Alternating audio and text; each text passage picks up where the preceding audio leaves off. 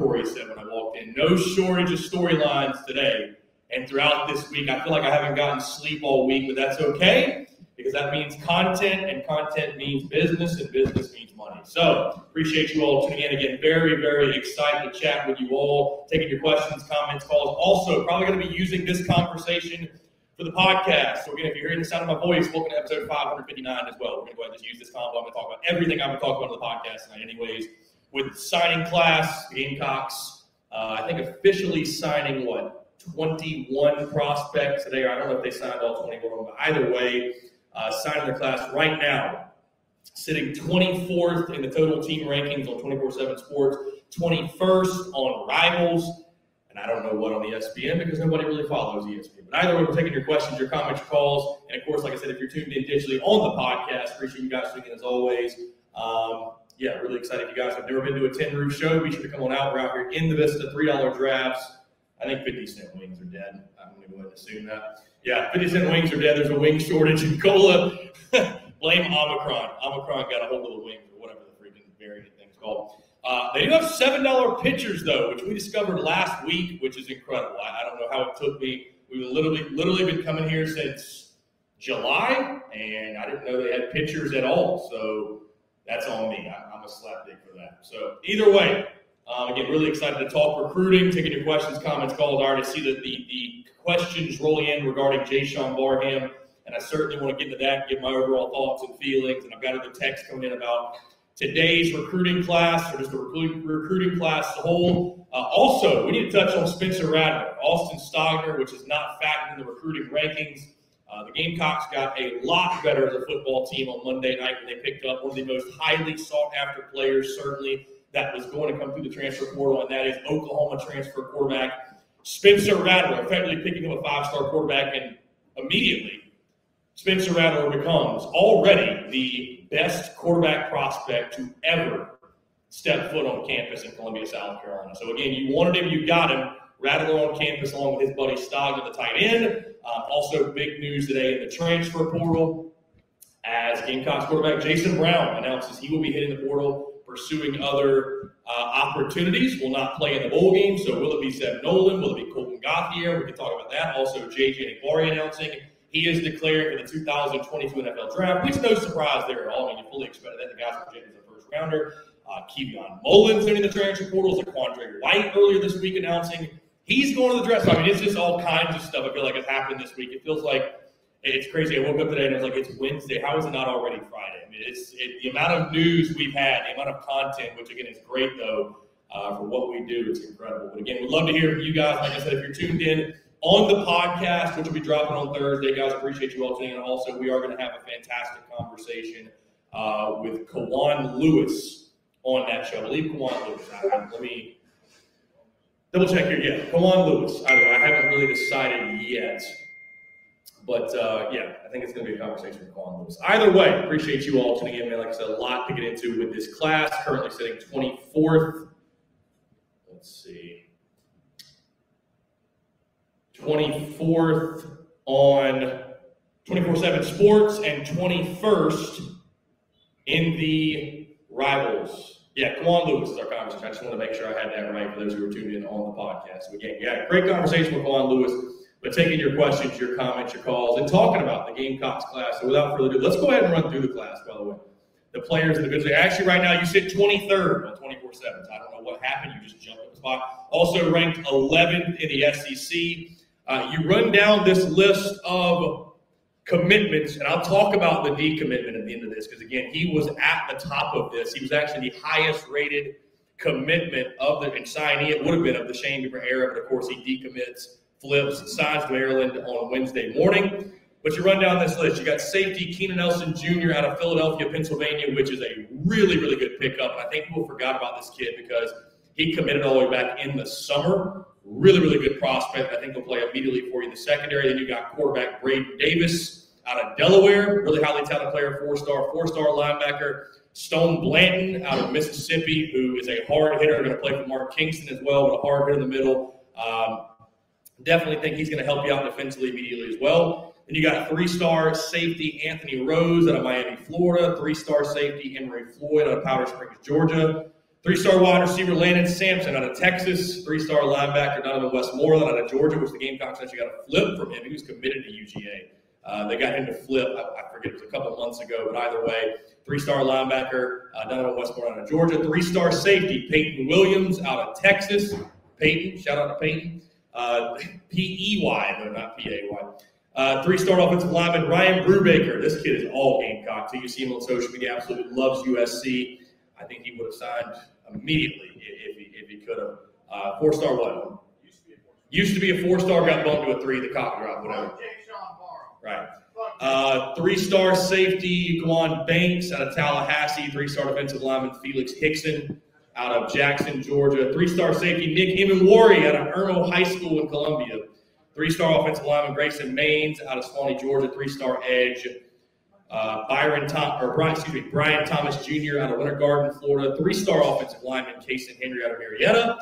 Three-star defensive lineman Demetrius Watson out of North Charleston. Three-star defensive lineman DeAndre Martin out of Virginia, and then finally, three-star wide receiver Xavier Short out of Chapin. Shout out to Chapin. Uh, you got three guys who I don't think have signed yet. I know one of them, DeQuandre Smith, an athlete out of Columbia at Spring Valley, uh, three-star kid. He will sign in February. I heard he's got a blue shirt, so he's actually going to count in 2023. Then you got a three-star wide receiver, Kyla Horton, and three-star defensive lineman, Jamal Weiss, out of Miami, Florida. Now, of course, that did not include, I did not mention at the bottom, you got your two big, big, big pickups right in the transfer portal with your quarterback, QB1, Spencer Rattler, and your tight end, Austin Stogner. Now, again, the guy I did not mention at the top of that list, Jaishawn Barham.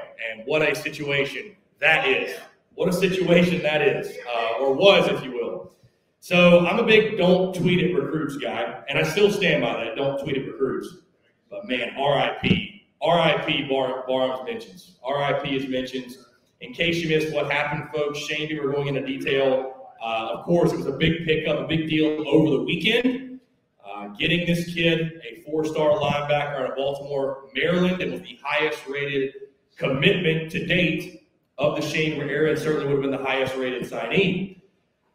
The morning of signing day, he flips Maryland and signs with the Terrapins. And I actually got on social media because I woke up very early on Wednesday, obviously, and, and I, I was I was shocked. I thought it was a joke. I thought Maryland had messed up and they had already put together the tweet. And I was like, they don't realize like he committed to us, whatever. They had this tweet on like auto set to auto go. And sure enough, no. It turned out that Jaishawn Barham had actually switched his commitment and signed with Maryland. Now, Shane Beamer, this is where it gets interesting. Shane Beamer saying that on Saturday, after he committed, and we saw all the crystal balls, right? The crystal ball boys came out and predicted he would go to Maryland after we felt pretty good, folks felt pretty good that Barham would go to South Carolina. He ends up, or yes, he the crystal ball is coming to Maryland. He still ends up choosing South Carolina. So we're thinking ourselves, okay, okay. So people got some bad information. Well, first Shane Beamer, Coach Beamer got a call about 10 minutes after Jaishawn Barham had committed to USC from someone close to the situation in Maryland saying, hey man, just so you know, him committing to you guys, it's all part of the plan. He is going to flip on Wednesday morning. It gets even crazier because Tuesday night, the night before signing day, Beamer also mentioned that Jaishawn Barham and his mother called and expressed how happy they were to be signing with South Carolina and how they had finally found a home. Blah, blah, blah. Just went on and on and on about USC. And then, sure enough, Wednesday morning, the news drops. Um, guys, I don't know. I just think what you see, what you're seeing is the shitty side of recruiting. And listen, everybody's entitled to their own decisions and where they want to go. And, I, am not going to lose sleep really over the, where a 17, 18 year old kid wants to go play his college football. But I will say there is a way to do things, and there's a way to operate and a way to treat people. And karma's a bitch. I don't know. Karma will play out, and you know, I'm not wishing you a will in the kid at all. Absolutely not. But that's just that's a that's a shitty way to go about it. So either way, whatever. All we got is all we need. And I'll be honest with you, looking at it from a glass half full, looking at it in a positive for South Carolina. Thank God the kid didn't come here. Thank God he didn't because if his if his background and everything else is that wishy washy, if it's if that is the moral compass and the character of the kid, you know, I mean, most likely he would have gotten on campus and after spring ball went to the transfer portal anyways. So what difference would it have made? Um, I'm not sure what difference it would have made. All right, we've already got a call here. I think this is our guy John Kruger, if I recognize the number correctly. So we're going to go ahead and jump to the phone lines here. John Rock Hill. Yeah. John from Rock Hill, you're probably going to be calling the Shane Beamer's calling show here shortly, I bet. But uh, hey, fire away with your question, John, and we'll take it off the air, my friend. Go ahead. Uh, going to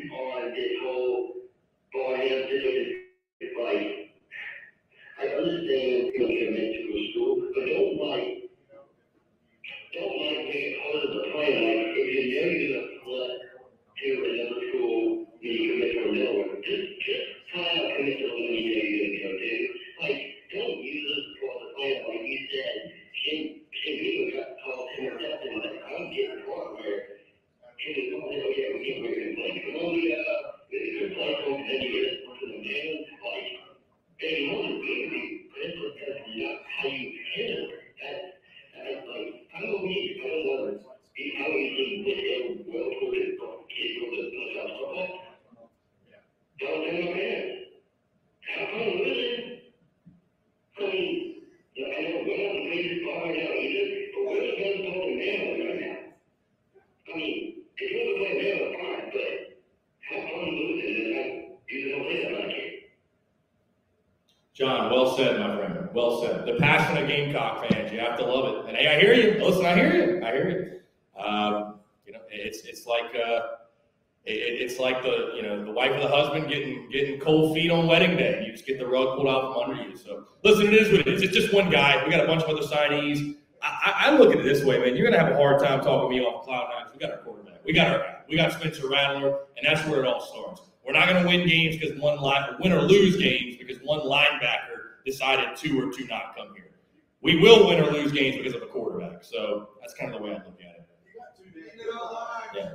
You got two good linebackers well. Stone Blanton, Donovan Westmoreland. You do need an offensive line. And I mentioned a few offensive linemen. Also, they're going to the transfer. We're not done in the transfer portal. South Carolina's far from done in the transfer portal. Theo Weiss is a guy. God, I'd love to get Theo Weiss. Uh, the Bray kid from Oklahoma might be getting him as well. So if you think Shane Beamer is done working in the portal, I, I just think that would be a mistake to make that assumption. So uh, we've still got spots. You know, Beamer mentioned that there's a lot of flexibility still with scholarships, and and I think he said that on purpose. I, I think, hey, we've got openings. We, we can add guys.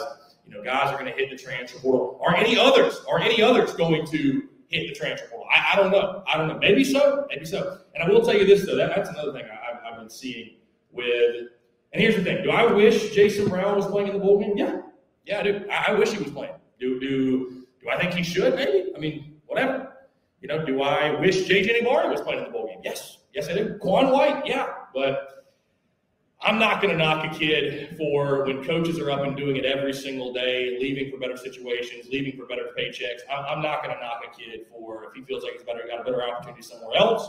You know, that's his decision, and you know, it is what it is. So uh, there's just no point in dwelling on it. And you know, now you either turn to Zeb Noland or Colten Gauthier to be your starting quarterback in the bowl game against UNC. But again, we can get to that more in a second. Again, I want to talk about the recruiting class. Like I said, you know, you take a look at this class like I said, the guy that jumps out to me, I'm excited for Keenan Nelson Jr. I just feel like he was sort of forgotten because he, he committed so long ago and there was no drama around him. But again, coming out of St. Joe's Prep School in Philly, six foot one, 200, a four star kid, like I said, um, ranked the 19th best safety in the country. So very, very excited for him. I think he's an immediate impact player in the secondary for you. And I think Beamer, you heard him talk about it too when he talked about the secondary and talked about the defensive backs they signed. You know, where do you see these guys? Where are you projecting them? They can play anywhere, man. Corner, safety, whatever it is. And you want guys that can can can help you in many different ways. Stone Blanton obviously is another huge, huge pickup for you in the middle. Um, four star linebacker. I mean, this dude's already six foot two, 220 as a senior in high school. Already built. I mean, you look at him, pretty much already filled out. He's only going to get bigger, stronger, faster. So really excited about what he can give you. Um, and again, I'd love to hear you guys' feedback too when you talk about your favorite player from the class, most impressive player from the class, sleeper of the class. Uh, you know, I think Ryan Brubaker could be an immediate impact player for you in the offensive line. Six foot six, 280, already has that size. Nick Emmanwori, 6'3", 208, his measurables. Uh, really, really excited there as well. I mean, again, there's a lot of good players in this class, but again, you look at the class, ranked 23rd right now on 24 7. 21st, I believe, on Rivals. I believe 21st. Let me pull it up here. 21st on Rivals, I believe. Let's see. Yes, 21st on Rivals. As I've said before, and I'll say it again, because I see many fans complaining and coming to me, Chris, we finished 11th in the SEC, which is crazy that you can be ranked, what's going on, man? 23rd nationally. I'm assuming you're, you're wanting to talk about Jaishawn Barham. This bullshit. Right. right. So everybody wants to talk about Jaishawn Barham. And I was just talking about it. You just missed it. So we'll, we'll, we'll go back over. This is going to be, yeah, this is going to be the podcast tomorrow. I So it doesn't matter. everyone this is Yeah. gonna everything NIL deals is gonna ruin everything. I said it from the beginning. Look what it's done. It's ruined everything. I, I don't think this is NIL. I, I don't think this is NIL. I, I don't think so. I think this was a. I think this was a setup from the jump. Because if you did you hear what Beamer said about it? Did you hear what Beamer said about it? No. Okay, well then that's going to clarify some things for you. So, anyways, Shane Beamer was asked about Jaishawn Barham and the situation, and I don't know if it, if it was because he legally can't. It was if it was because he legally can't or he just didn't want to. He did not name Barham by name in his answer. I'll give you his full answer though, verbatim. This is and I quote when asked about Jaishawn Barham and the situation and what happened. Quote, you have to ask the young man that you're referring to. I can't say it's a surprise.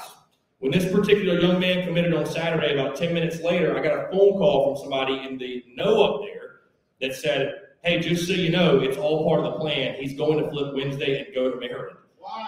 So I can't sit here and tell you that I was shocked, but when you're on the phone with a young man as late as 10:30, 11 o'clock last night, speaking on Tuesday night, and he and the mom are telling you how they're so thankful they found a home, how appreciative they are, how we do things, how they know that South Carolina was the place for him on his very first visit to South Carolina, and how excited they are for the future, you feel pretty pretty good about things. Certainly with the young man you're referring to, some strange things happened overnight which that's a story for another day. Again, we got the right people here in this program who signed today, guys you can win with, and you win with people, and we certainly got the right guys here today.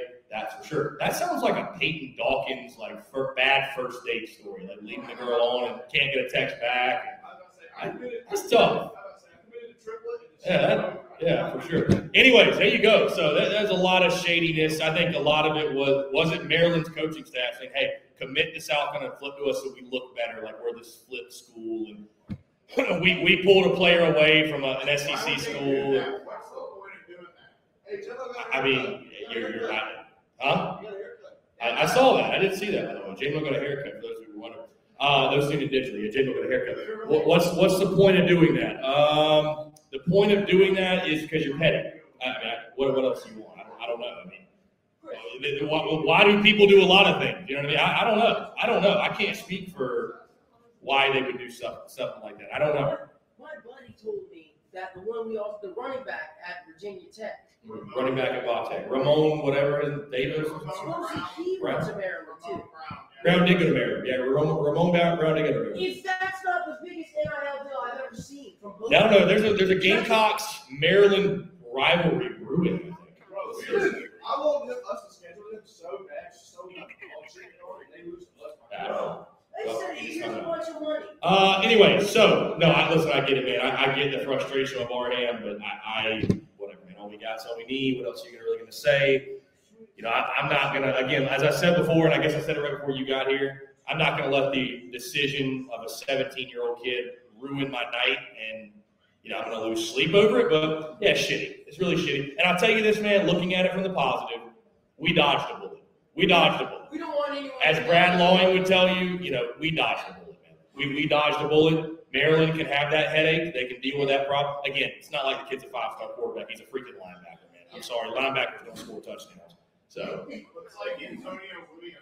all right, here we go. We're going to jump to the phone lines. We do have a call. Zachary, fire away with it. We'll take the question off the air, my guy.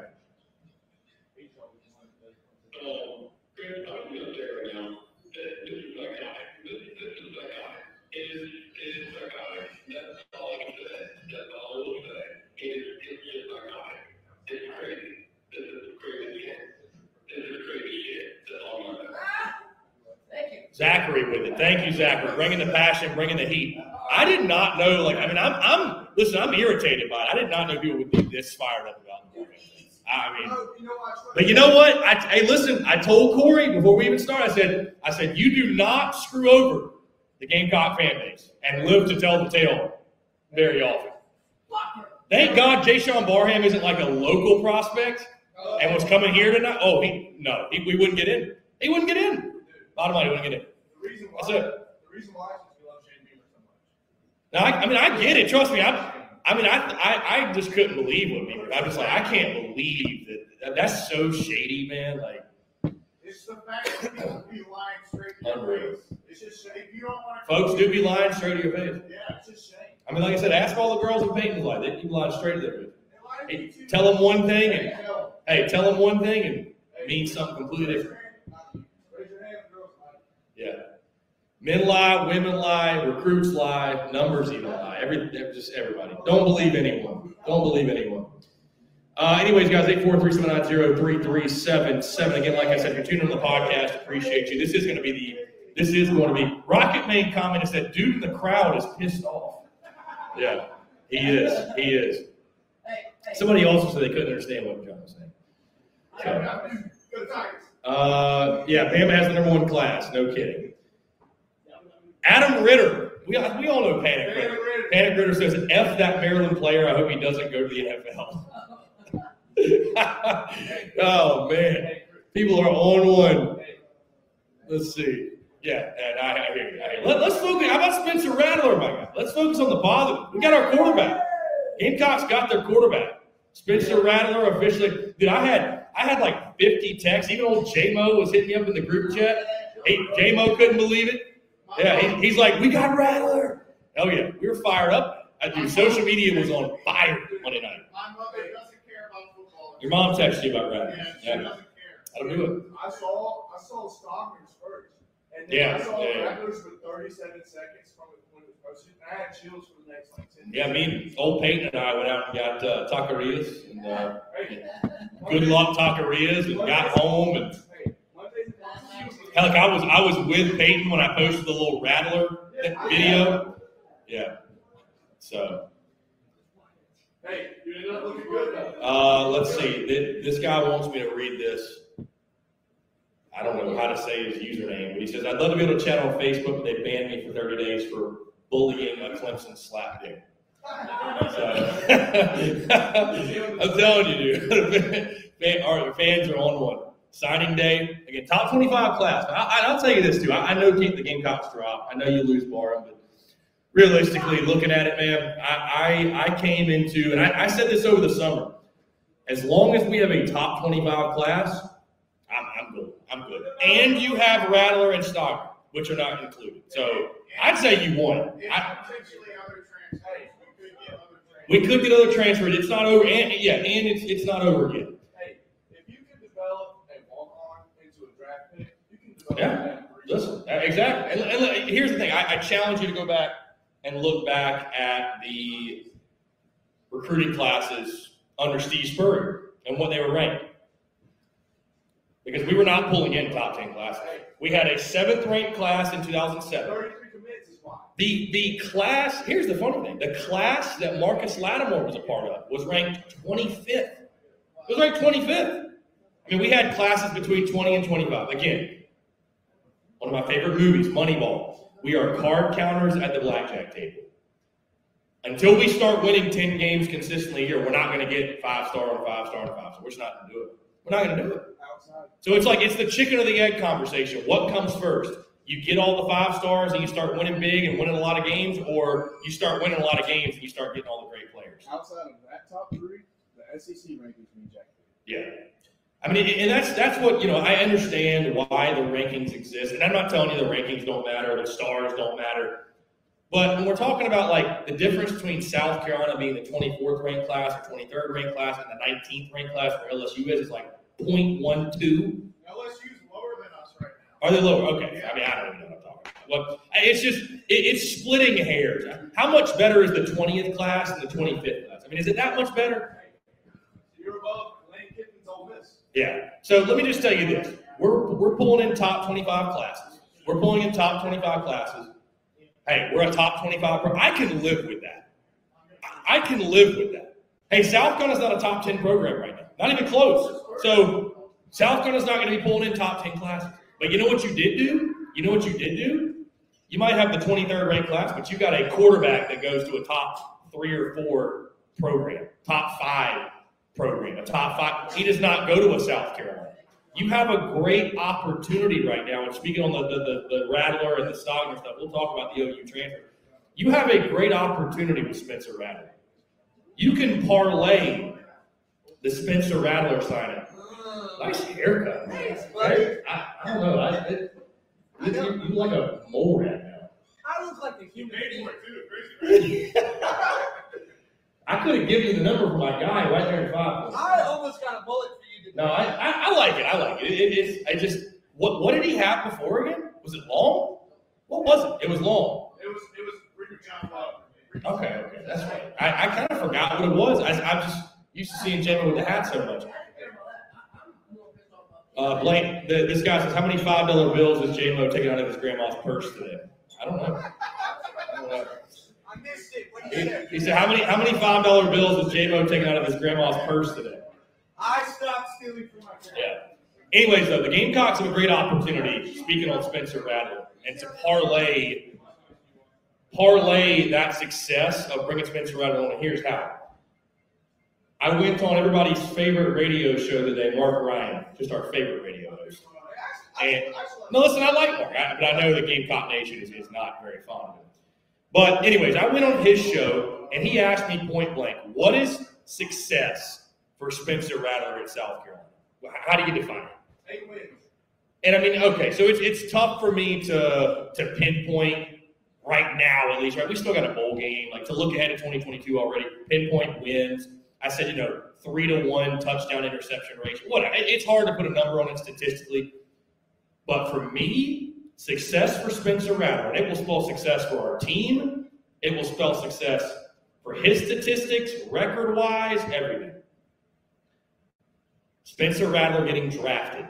I know that might just sound like, oh, that's just so basic. We have not had a draft, a quarterback drafted at the University of South Carolina since 1989. Didn't Connor Shaw get drafted? No, he signed as a free agent. Don't test my knowledge on this. I did my research. 1989. Not even Anthony Wright signed as a free agent. No, no, uh, uh. Jimbo. Steve Garcia with the, the Canadian League. That was not drafted to the NFL. Drafted to the NFL. Yeah. It was Todd Ellis in 1989. That was the last quarterback that was drafted. Todd Ellis. It's a quarterback centered. The, the, the, game of football, you got to have a quarterback. You don't have a quarterback, you don't have a chance. It's a quarterback driven game. You have to have that guy. You don't win games 20 to 17 anymore. You got to score points. You got to have a quarterback to score points. That's a given. All I'm saying is you can parlay this Spencer Rattler thing in a future success. You get him drafted, you get into the league, all of a sudden, other five star quarterbacks, or at least very highly touted quarterbacks, are like, okay. I can go to South Carolina, accomplish everything I want to, win a championship, get to the league, get a great education. There's a lot of beautiful women in Columbia, a lot of great places to go out, great, great, great, great facilities, great fan base, right? Great bartenders, cheap drinks, Great lobby, great podcasts, Great media people, right? Great merch, everything. Apparently Rattler didn't even come to And Rattler didn't even it. None of that. He got none of that. He was, he was. Boy, is he in for a treat. He was not. Is he in for a treat? I used to ask about bus champ. I had to pay my eyes. Yeah. Anyway, so I'm saying you can parlay that though, because if you don't think having Spencer Rattler here is going to help get more prospects and other players, you're out of your mind. Receivers are going to see that, tight, especially offensive guys. They're going to see that. They're going to see that and say, "Hey, why not South Carolina? I can go play at South Carolina. I can go play with a big time guy like Spencer Rattler. He's going to get drafted. I'm going to get drafted. He's going to give me the ball. Well, he might just be here for one year. That's fine. I only need him here for one year. I don't need him here for more than one. That's fine. I can go play I only need him here for one. I can go play Maryland. I only need him here for one. Hey, good. He he should be here for one. If he's here for more than one, we screwed up. He's an NFL guy. He better not be here for more than one year. What if he really likes it?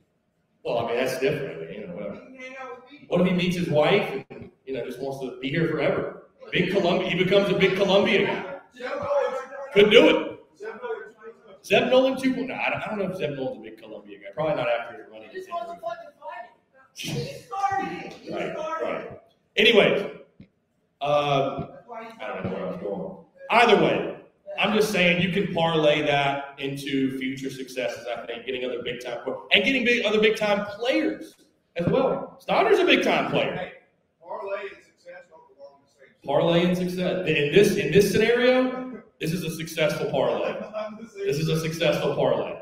All my gambling folks are cringing hearing the word parlay. It's like, no, big parlay guy. Oh, so you like losing money? Good to know. Serial parlay guy. Just got a text here. Hope you and everyone in the live chat are having a week. Your friend Robbie Davis, aka Kirk Herbstreit. Tell him I love him. Tell him I love him. Pey- uh, Robbie Peyton says he loves you. Just so you know. Uh, let's see. And this guy's username, by the way, is Blanel Beats. Blanel Beats. I think his name might be Blaine. I don't know. That's a terrible Twitch name. Uh, maybe it's a good Twitch name, but bad anything else. Blake will beats. Right. He says Spencer has three years of eligibility left. What do you think will need to happen to him personally to decide to stay for a second year? Again, I think it's it's bad.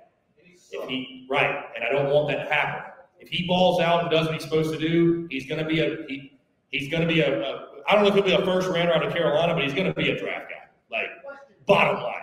So Yeah. do you think this four star coming in from Delaware Braden Davis, the four star from Delaware, yes. is he the next Connor Shaw? Is he the next Connor Shaw? Let's how about this? Let's try to make let's try let's try to stop make making anyone the next Connor Shaw. Yeah, you're right. good quarterback. Is Can he be a week in, week out QB one successful, lead us to a lot of wins, more wins than losses? Got the build, he's got the skill set, and that's another thing. Maybe he can be groomed now under a Spencer Rattler. Because again, the best thing that could happen is he redshirts. I mean, I- too often we've seen guys thrust into action before they were ready. Right. Right. So I, I, don't want to see Braden Davis Right. No, playing in the. Super. I, I don't want to see Braden Davis take the Luke Doty path, which that's another very interesting storyline of what happens to Luke Doty now, um, going into next season.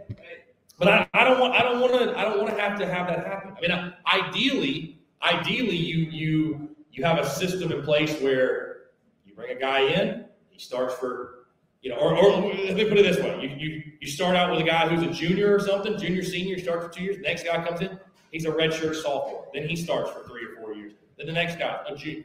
And if you have these veteran, experienced guys instead of throwing these freshmen in the flames when they're not ready, when they're not ready, you can stun a kid's growth.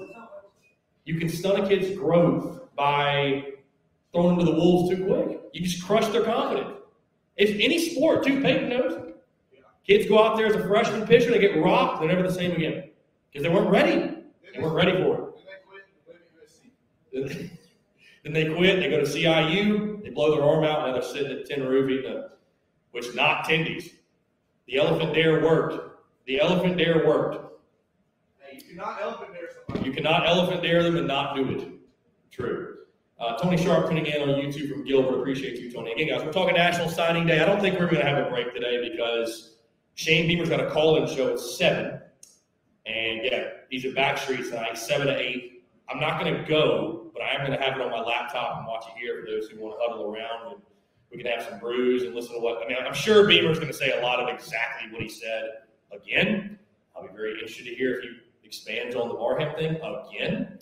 So I, I don't. You're calling in. You should do that. You should call in. Hey, what if I want to huddle around regardless of the call-in show? If you want to do what, If I want to huddle out regardless of the call-in show. that's fine. Yeah, huddle around. Cool, cool.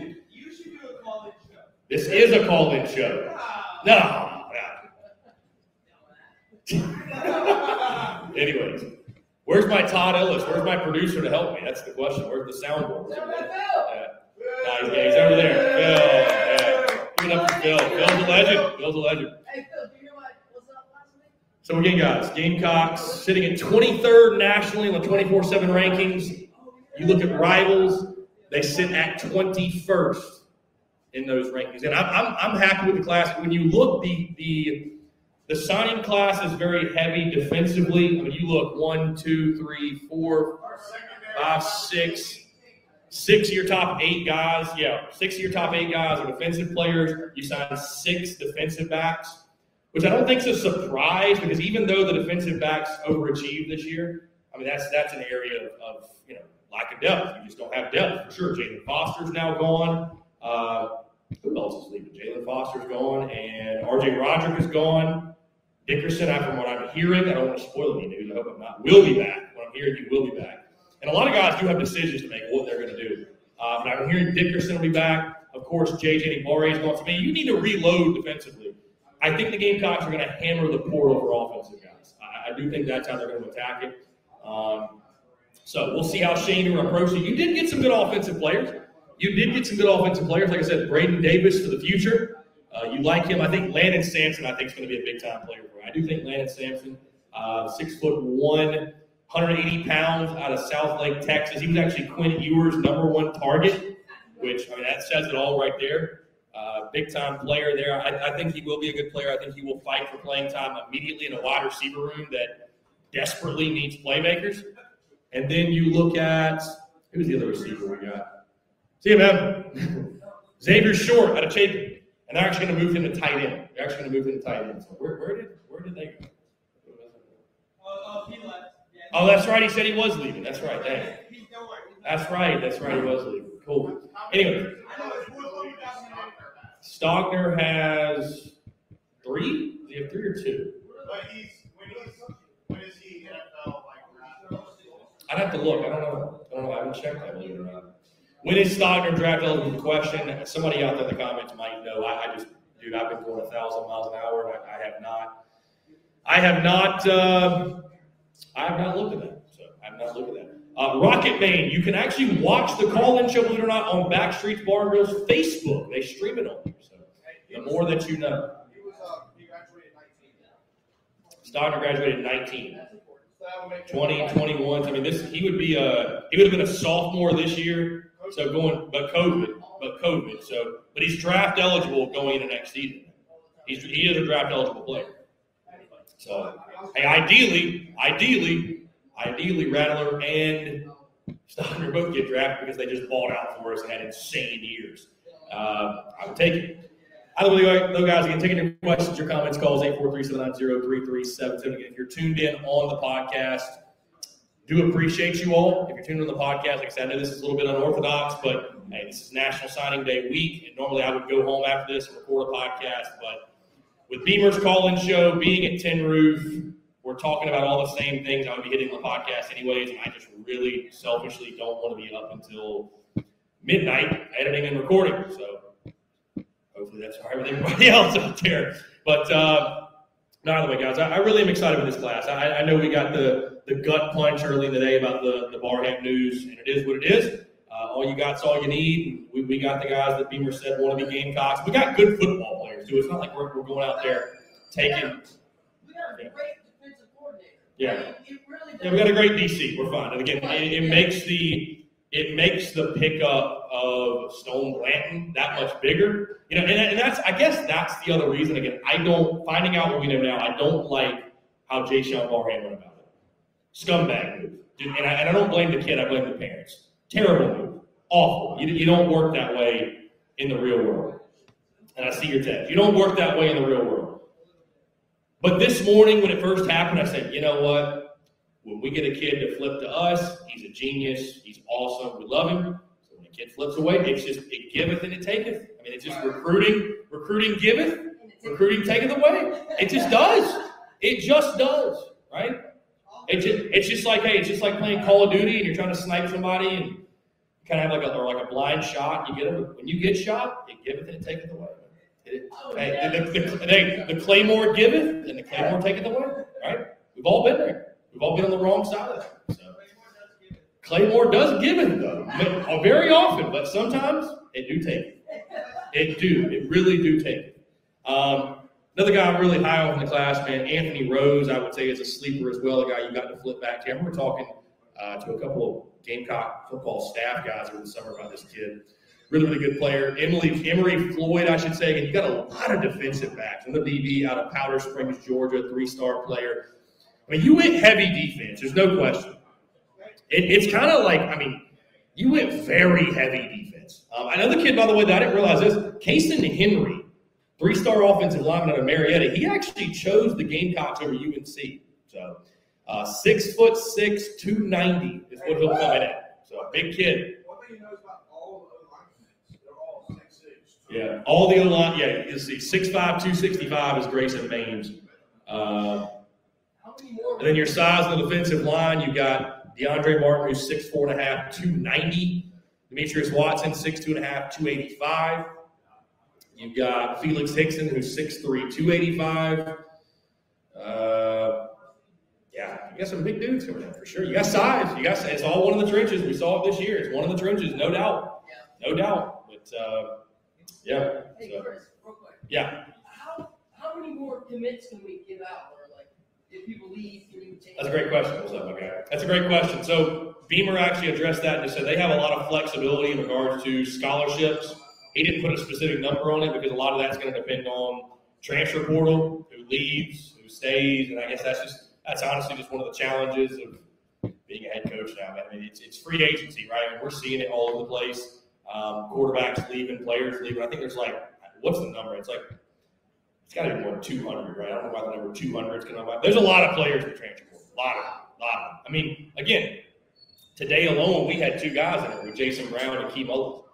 Jason Brown and are both into the portal, so uh, they've got flexibility, and Beamer made a point to point that out. They do have flexibility when it comes to numbers and scholarships, and and uh, listen, we're, we're not done, man. The, the, the transfer portal. Shane Beamer has shown that again he's not going to sit on his hands. He's not going to just wait and hope that things get. They're going to go out and be good football players. They're, they're going to use, and I think Beamer. Listen, I said this on the show earlier this week, and I'll say it yet again. There's one coach in the state that anti-transfer portal and anti-NIL, and, and this is what's wrong with college football. That's what's wrong with college football, and just wants to bitch and moan and complain about how things are. There's another coach in the state that is player centric, embraces the transfer portal, goes out and gets a big time quarterback and a big time tight end, and embraces what the NIL presents to players and what it brings, and knows they didn't come here to play no school, they came here to play football. And that coach is in Columbia, and the other slap slapdicks up in Clemson. So, I mean, you know, listen, adapt or die. You cannot like how college football is now. You, you cannot like the NIL. You cannot like what happened today with Florida State and that top kid choosing Florida State and Barstool Sports giving him $1.5 million. And I'll say this, and I'll say this too, because I got a text from somebody, one of my buddies that said, we got to get our big time boosters. We got to get our big time boosters to pony up, open their wallets, and get this program where it needs to be. Listen, if you're stupid enough to pay a high school kid a million dollars to come to your school, so be it. I wouldn't advise anybody to do it though. An unproven high school prospect, you got to be kidding me, dude. The kid's not Jadeveon Clowney. Like, give me a break. So, listen, if Bart, and I get it, man. Dave Portnoy, savvy businessman, all Gucci, but Nah, bro. I, I wouldn't give a damn if TSUS was below. I'm not giving Jaishawn Barham a million dollars. I don't give a damn. He can go to Maryland and play in front of 10,000 people and kick rocks for like here. I'm not, I'm not giving a kid a million dollars to play here. Would you give that wide receiver a million dollars to play there? Antonio Williams? No. No. Not now I wouldn't. Surely enough I wouldn't. So that kid was, yeah, I, mean, that, I guess we've talked about that, but that, that, that kid was waiting on that Clemson offer, Antonio Williams from Dutch Fork. And that's fine. So be it. But he was waiting on that Clemson offer from the jump, and, and he got it and went to Clemson. So, so be it. Whatever it is, what it is. Uh, wish the best. Uh, all good. What it is. Um, by the way, Shane Beamer asked about what did you see at Spencer Rattler in Oklahoma, and he simply answered wins. I saw a lot of wins.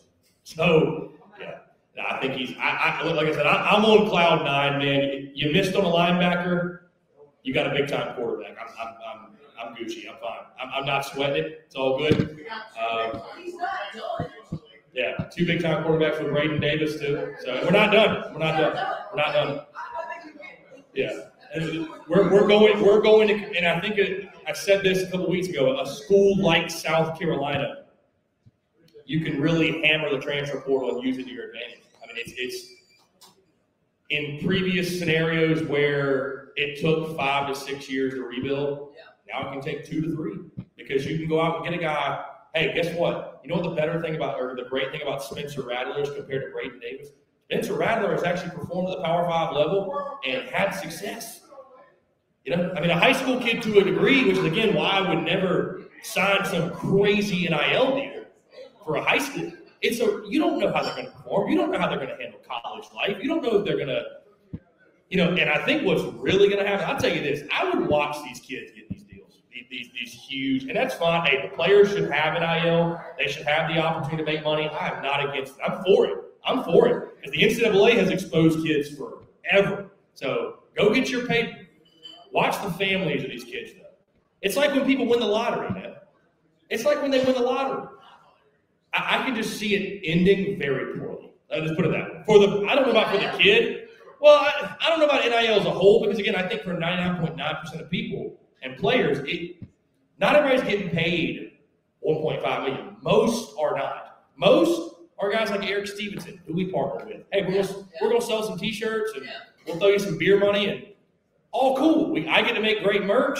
You get to ball out and be represented on on on t-shirts and hoodies and all that, and we get to rock it. And it's all good, right? It's, it's a mutually beneficial partnership. But yeah, I mean, the the majority of kids are not getting a billion dollars. You know what I mean? Not everybody's Quinn Ewers. Not everybody's whatever that kid's name is that went to Jackson State, which you know Get he's gonna get his paper. Look at him hit the transfer portal next year to Florida State. get. Hey, give Reggie Bush the Heisman back. And, and Peyton, by the way, made a great point.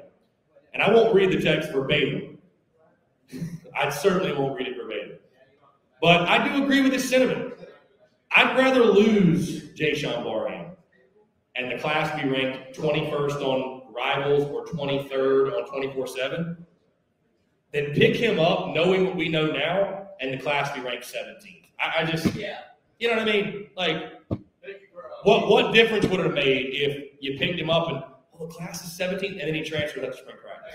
Who gives a damn? He's not even here anymore. Thank you for rephrasing that. Yeah, yeah, I got you. I got you. Keep it PG for the kids. Zachary Barker says favorite player in the class, Keenan Nelson Jr. I do like Keenan Nelson a lot. I'm a big Keenan Nelson guy. And Landon Samson, another big. Yeah, I'm a, I'm, I like Landon Samson as well, man. I, I I know Justin Stepp loves the kid. Justin Stepp loves the kid. Uh, sleeper, Kason Henry, and Anthony Rose. Like those guys as well. Like them as well for sure. Um, let's see. James Drake, did Maryland really tell Jaishawn to commit to us, then flip, or did some late money come in? That's up for, that's up for you to I decide. I mean, listen, was there a bag involved? Maybe. Did we throw a bag at Rattler? Probably. All is fair. All is fair. It is what it is. I think they didn't tell him to do it, but I think that they okayed it. They okayed. Right, right, right, right, right. For sure. For sure. I mean, I, I have to think Maryland put a bug in his ear, like, hey, Hey, you uh, you know, you, you want to make us look really good and help us out? Well, you know, uh, you, you should commit to Carolina and then flip on signing day. I, I, you know, again, you know, don't ask why. I don't know why. I don't know. If I knew, I'd tell you. I don't know. No idea. It makes no sense. I'm telling you. Nobody gets it. Nobody gets it. Nobody gets it. Nobody gets it. you. Where's that guy? Because I'd be like, let me hit the nobody gets it button. Because you're right. You wouldn't have to hit a button. Nobody gets it. Right. I wouldn't have to hit the button. Nobody gets it. I'm telling you, the NIL, after what we saw today, pissing off the big Power Five schools to go to a tiny school. Right. That's going to piss them off. It's pissed off a lot of people, and I'm telling you, What's going to happen? it's going to go back to Big schools are pissed off. Player goes to a small school instead of their school. What's going to happen? beautiful thing. We are not a big school. where I mean, the- What's the, what's what's going to be the result now? I What's going to be the mean, I mean, result? I was talking to my buddy a little bit. They're gonna make they're gonna make some changes where you gotta sign and then you can get NIL deals, or you gotta wait a year then you can get deals. You know, there, there's just gonna be a change because that's doing better than some NFL players. You know, he just got paid They're trying to more. put Mike Norvell's ass in a jackpot. You know, than, than some kickers on the NFL team. I don't know how much NFL players get, but they should not be getting paid that much money to go play. So do you think? Let me ask you this: Do you think that kid that went to Jackson State to Florida State? Do you think he went there solely, or at least his lead reasoning was because the NIL? You think he switched from? I'm asking you. I'm asking you. For the prime time. Do you think that he went there solely because the NIL? Yes or no? I, I, I'm, I'm, I'm gonna make a point. Yes. If the answer is yes, which it probably is, the answer is yes. I don't want him anyways. If your sole reason to go to a school with NIL, then I don't want you to play for me anyways. Because Brad Lowing literally sat up here and said it. The kids that are most focused on getting attention, Yeah. and I would count NIL as attention. They most of them don't pan out anyways. They, they just don't. They, they, they don't they don't. A guy like Jaishawn Barham, hey, maybe he'll go be a, an NFL Hall of Famer, but to, to, to, to do that, to, then you, you're probably not be worth a shit anyways for us. So what difference does it make? You know. being coached by prime time and FCS competition, I'm also like, hey, I can't go here and I can't get back. I mean, I, I listen. I, I get it. He, but the reason that that all happened, again, Dion works for Barstool. What's good for Dion's good for Barstool. So I don't mind. D- Dion literally went on Barstool's whatever show it is yesterday, Wednesday or excuse me Tuesday night, and said, "Y'all watch on signing day. Something big's coming." He knew. I mean, he knew they had a deal in the works the entire time. won't last a year. This whole thing won't last a year. Had a deal the entire time. We're getting NCAA back. That's all I See, Tucker says it won't last a year until until TSUS in five years is blown up, and I'm throwing the bag at everybody. Uh, Yeah, We're NIL's the best. Yeah, I'm gonna start making up like fake company names and just be like, oh, he's sponsored by this company. Oh, I'm, we're just we're just the masterminds behind it all. We're throwing everybody like 250 grand in a briefcase. Like, here you go. I'll, nobody, I'll Yeah. drop it off. Hey, nobody's gonna hate it. Nobody's gonna hate it when NCAA comes back in the summer. Nobody's gonna hate when NCAA comes back. That's a fact. That's a fact. That is a fact. Great day to have a day. Great day to have a night. Great night to drink some cold beer. Great night to come out and see see Jomo at old uh, Tin Roof. Throw some throw some tips at Jomo. to- it's here to- Boy, what a! I tell you what, if you missed if you missed last Wednesday, what a what a fiasco that was. What a what a time that was. That- it just goes to show you when, when all the service industry folk come into one spot, it gets it gets ugly. It gets ugly. It gets ugly. Ugly fast. It's very ugly, very fast indeed. No, we had a good time. We had a very good time. Unexpected, but a very good time. Um, anyways, guys, looking at the class, because again, we're continuing to talk South Carolina's recruiting class. Gamecock sitting right now, and I'll refresh this. Yep, 23rd. And, I, and let's let's look at all recruiting classes, by the way. The team rankings. Let's see if I can pull it up. The team rankings. Wait, is this first one the bigger one, or does it? I mean, is it? This so but night I would say like 90% of guys signed on the early signing day. It's all this is, it's just the first day everyone can sign. You can still sign tomorrow. This is just the first day. You can sign on February the 4th, which is like the normal signing day, which I, you know, the early signing day, it's cool. I, I'm not like to complain. I kind of miss National Signing Day, like truly the National Signing Day. That was fun. They need to change the schedule because having two signing days where like one. It makes it really tough on coaches. Look, Keyshawn, look, Keyshawn- It's making it tough on coaches for sure. Nixon felt like a five star when he got it in February. True. All right, here are the team rankings, and here's an update. Dun-dun-dun, dun-dun-dun. 24-7 Sports, the number one class in college football, the Texas A&M Aggies. They have taken over Alabama, the number one spot. Let's see, we got a call here, man. Let's see who this is. What is Jim Bosa? What is Jim Bosa? I don't, I couldn't let's take this call. Hey, go ahead and fire me with your question, my guy. We'll take it off the air. What's going on? Uh, uh, uh,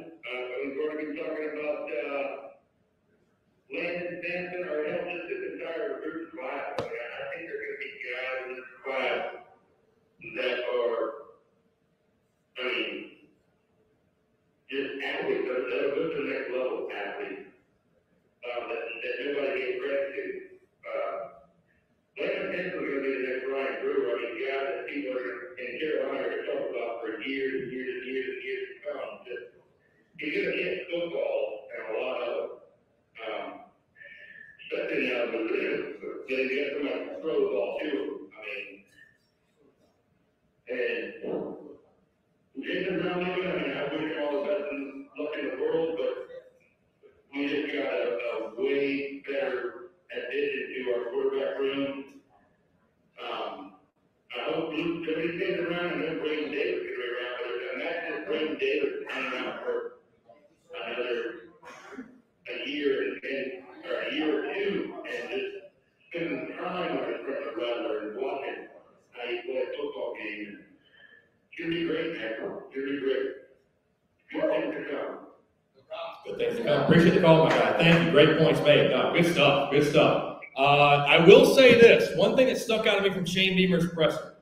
and I'm sure he's going to stress this again tonight in his call-in show.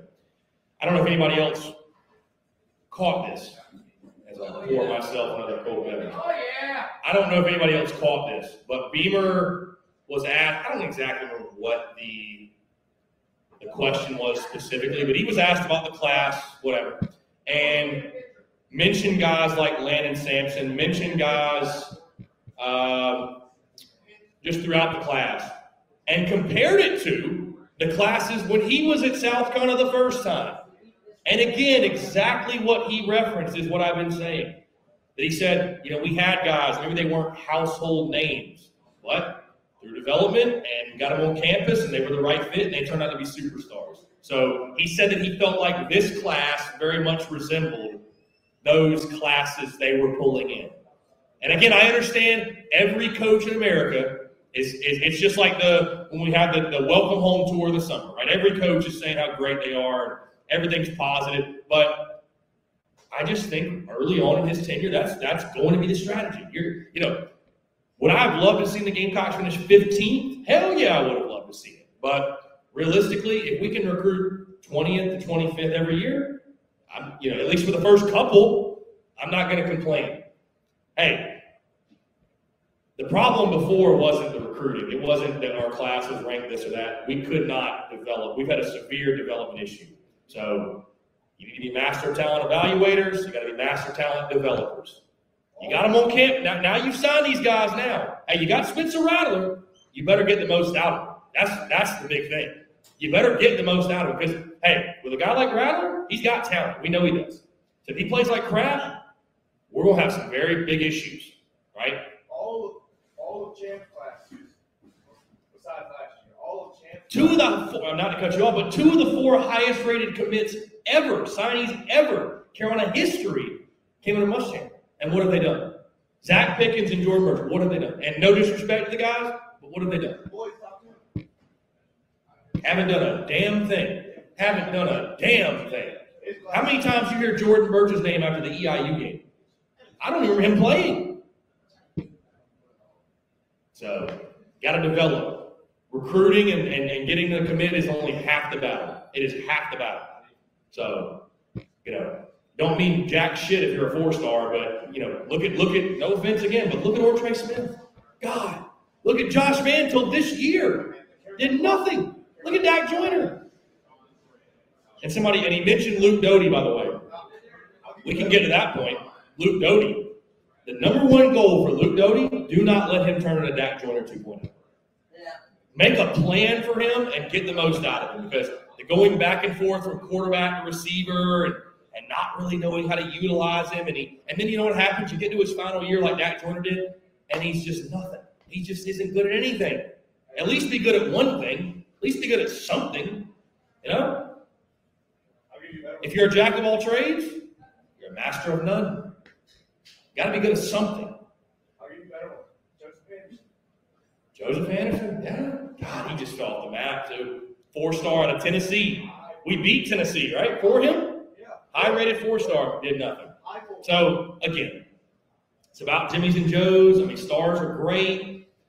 But I will tell you this I talked over the summer to a guy that's right now on the Gamecocks football staff, and I don't know how hard you have to think to know who it is because I've been pretty open who my buddies are on the staff. But, you know, I talked to him over the summer, very notable assistant coach, and was asking about, I was like, how much do stars mean to recruit? Ask Brad Long, said, they don't look at stars, right? They don't look at stars. They don't. They don't. How important are stars? He said, Chris, the top 100 guys, the top 100 guys.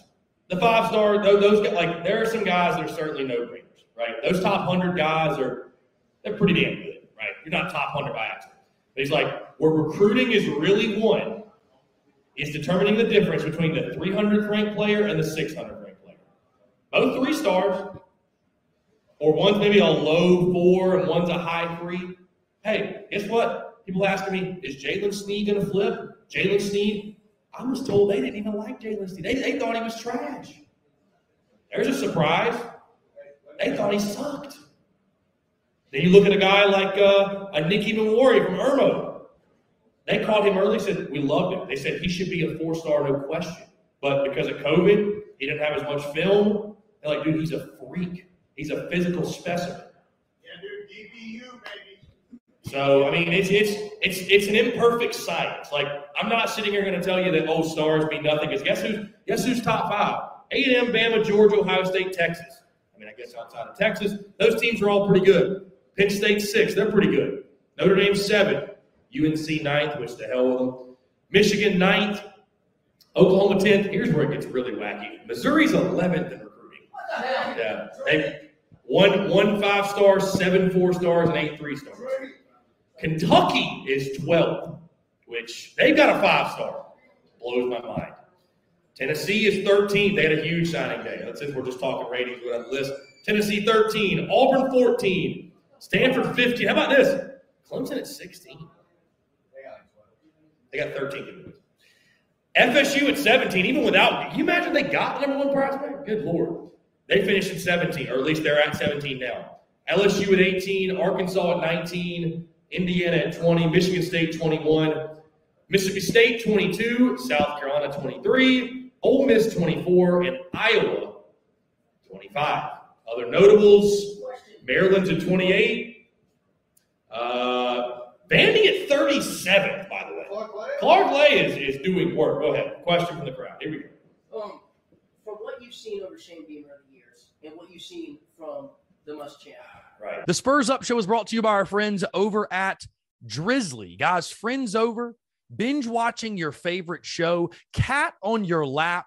No matter your reasons for wanting to stay put, keep your feet up and get beer, wine, and spirits delivered to you in under 60 minutes with our friends over at Drizzly. Guys, Drizzly is the most convenient way to buy beer, wine, and spirits with delivery to your doorstep in under 60 minutes. They're also the number one app for alcohol delivery, the convenience of home delivery in under 60 minutes when you need it, when you want it, guys. The convenience you shop across stores so you can choose from a huge selection and get exactly what you want. You can also get the most value when you shop across multiple stores to compare prices and find the best deals on exactly what you're looking for. Guys, right now, our friends at Drizzly are giving all new customers $5 off their first order with the code FAST.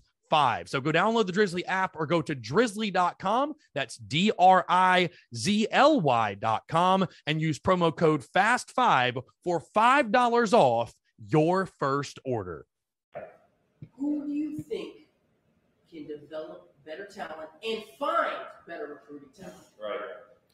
So, the, so let me ask you this: You ask who, who's the better recruiter? Are you also asking that question? Yes. I've been asked that. Who's the better recruiter? Who, who's better at finding in high school that guy? should Shane's be. one class. All right. So here, here's what I would say. Oklahoma recruits. He's had something. Well, I, I mean, he he was in a city. Yeah. What the Oklahoma? I'll, I'll tell you this: is that question's come up. Hey, who's a better recruiter, Muschamp or, or Beamer? Listen, and you can take it back. Like, how good is this recruiting class?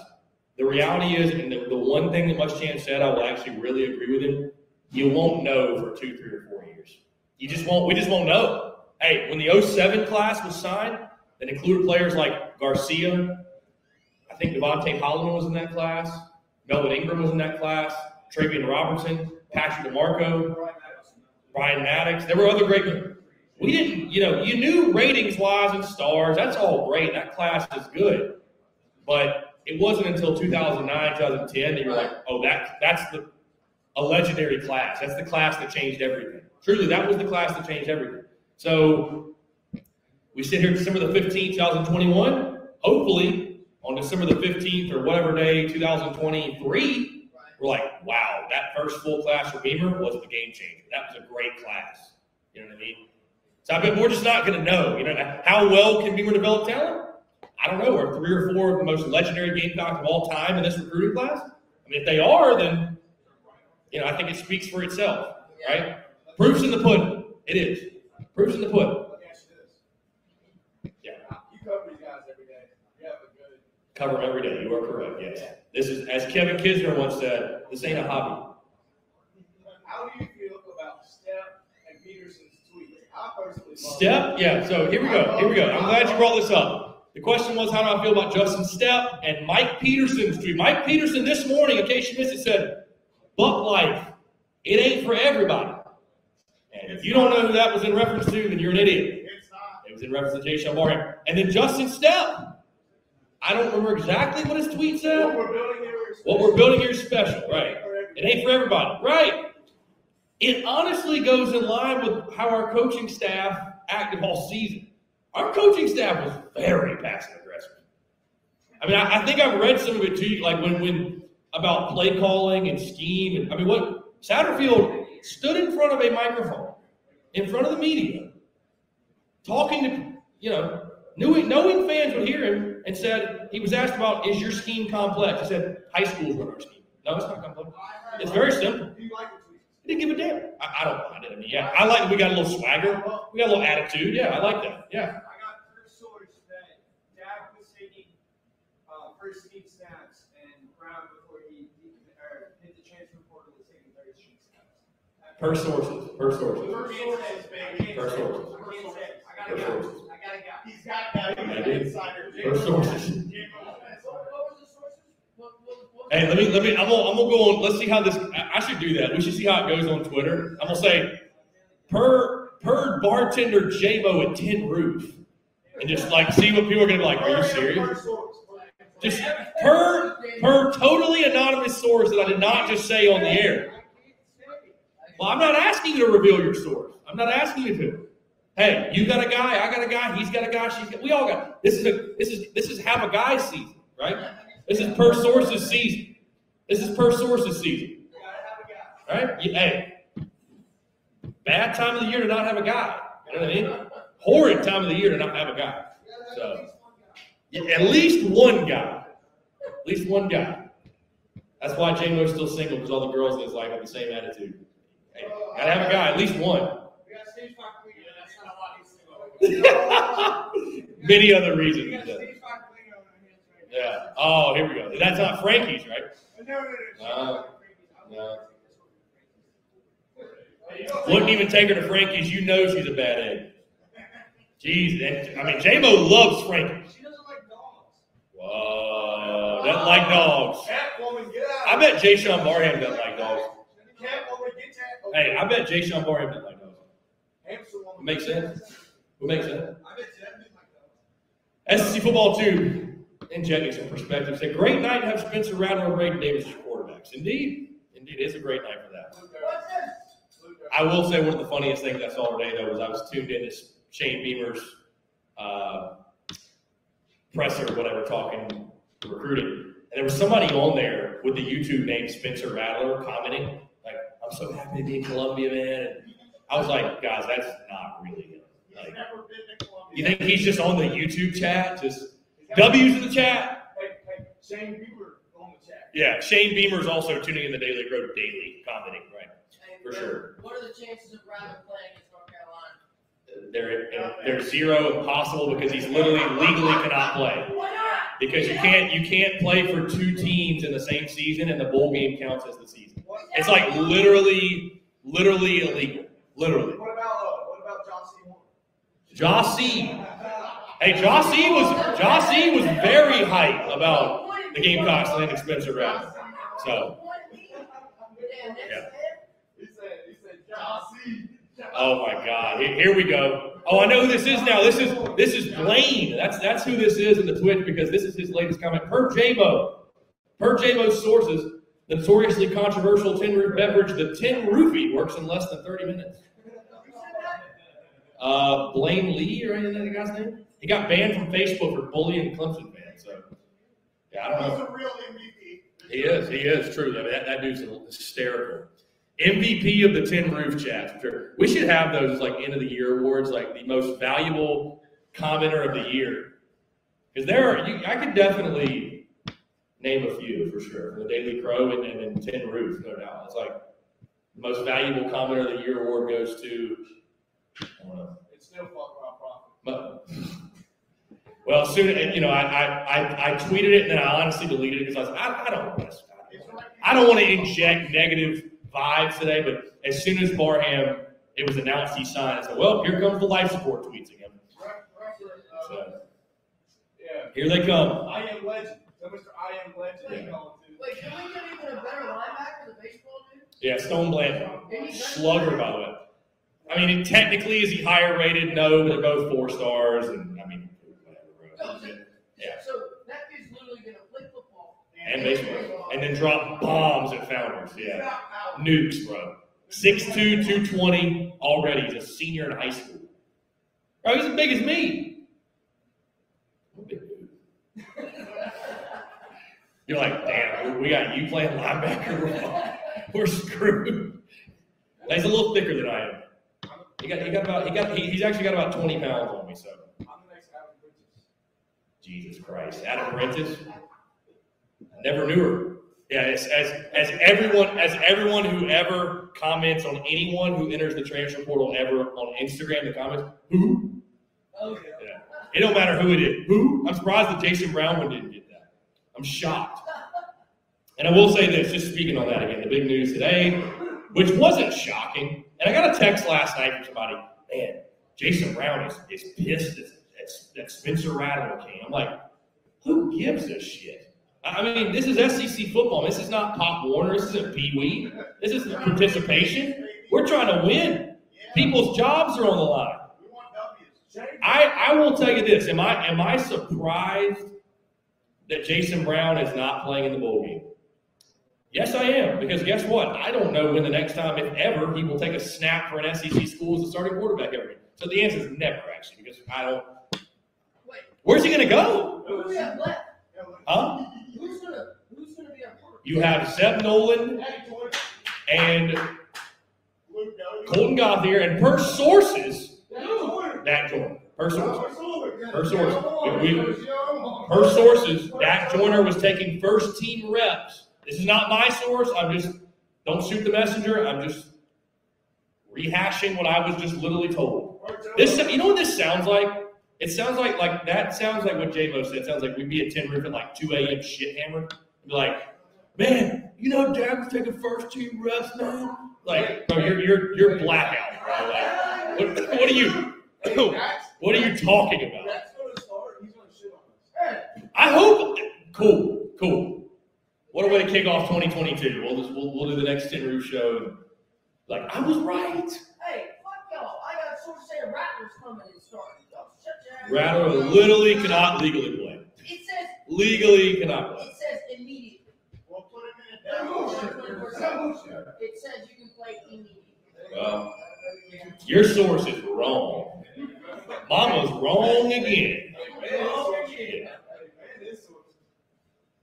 No, so again. Uh, no, it's it's it's uh you know I I, I understand Jason Brown hitting the portal. I, I thought he would do it after after the bowl game, but I mean if he yeah listen if he if he feels like it's in his best interest and he's going to get a jump on the transfer portal and, start looking at other schools. And he, hey, he wants to use his SEC film and and, and go somewhere. That, that's hey, I got nothing but well wishes. I will take this. I posted it a little bit earlier. A thank you to Jason Brown, and I mean every word because you know what? Jason Brown provided me two of the best nights I've had at Willie B in a long time. I mean, truly, did he not? That Florida win, that Florida win was one of the most fun nights I've had at Willie B in forever. I, I mean, I literally, when's the last time we had a night game? And maybe I'm forgetting one that was very recent, but the last really fun night game,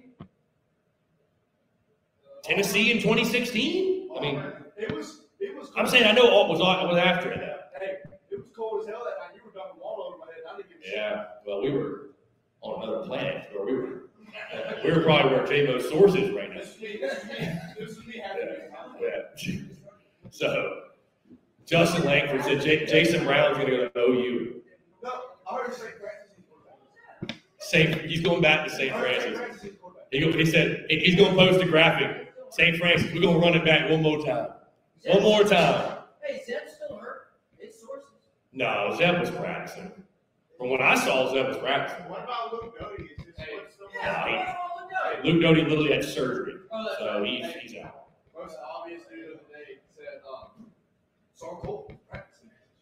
Saul Colten was practicing today. I, I, I, I hope he was practicing. I hope he was practicing. I mean, listen, man, again, this is SEC ball, and if you don't like competition, I don't know what to tell you, man. I sure as shit hope Colten's practicing. But yeah, I uh, and then again, like I said, JJ Enagbare and the the the take that I knew inevitably would happen, but shouldn't have been a take this morning. And hey, I would love to get y'all's feedback. We, we, we, we could really dive into some stuff now, the banter. JJ Enagbare declaring for the draft. He's opting out for the bowl game, which I'd assume if Beamer was very, hey, you got to ask them, but I mean, they're not playing in the bowl game. Quan White not playing in the bowl game, the draft. Like people coming into the mention saying these guys are quitting and they are not fulfilling their obligations. They aren't. That's bullshit. Oh, that is bullshit. That is Hey, what's up with Harris? It didn't. You said something on a post about some weird sketchy shit about Harris for sources. Hey, Resources. Hey. For sources. the, the linebacker from Notre Dame Right. That tour is in the bowl game. right in the bowl game. He was a surefire top ten pick. Not, not first Oh, round, right. top ten. Yeah. He ended up getting taken in the second round. I will say this, listen. Do I like my favorite players not playing in the bowl game? I, I know I don't love it. I, I- I don't I don't hope more of it happens. Do I understand it? Yeah. And I said this today on social media, I'll say it again, and people might be taken aback at this, but this is a news flash.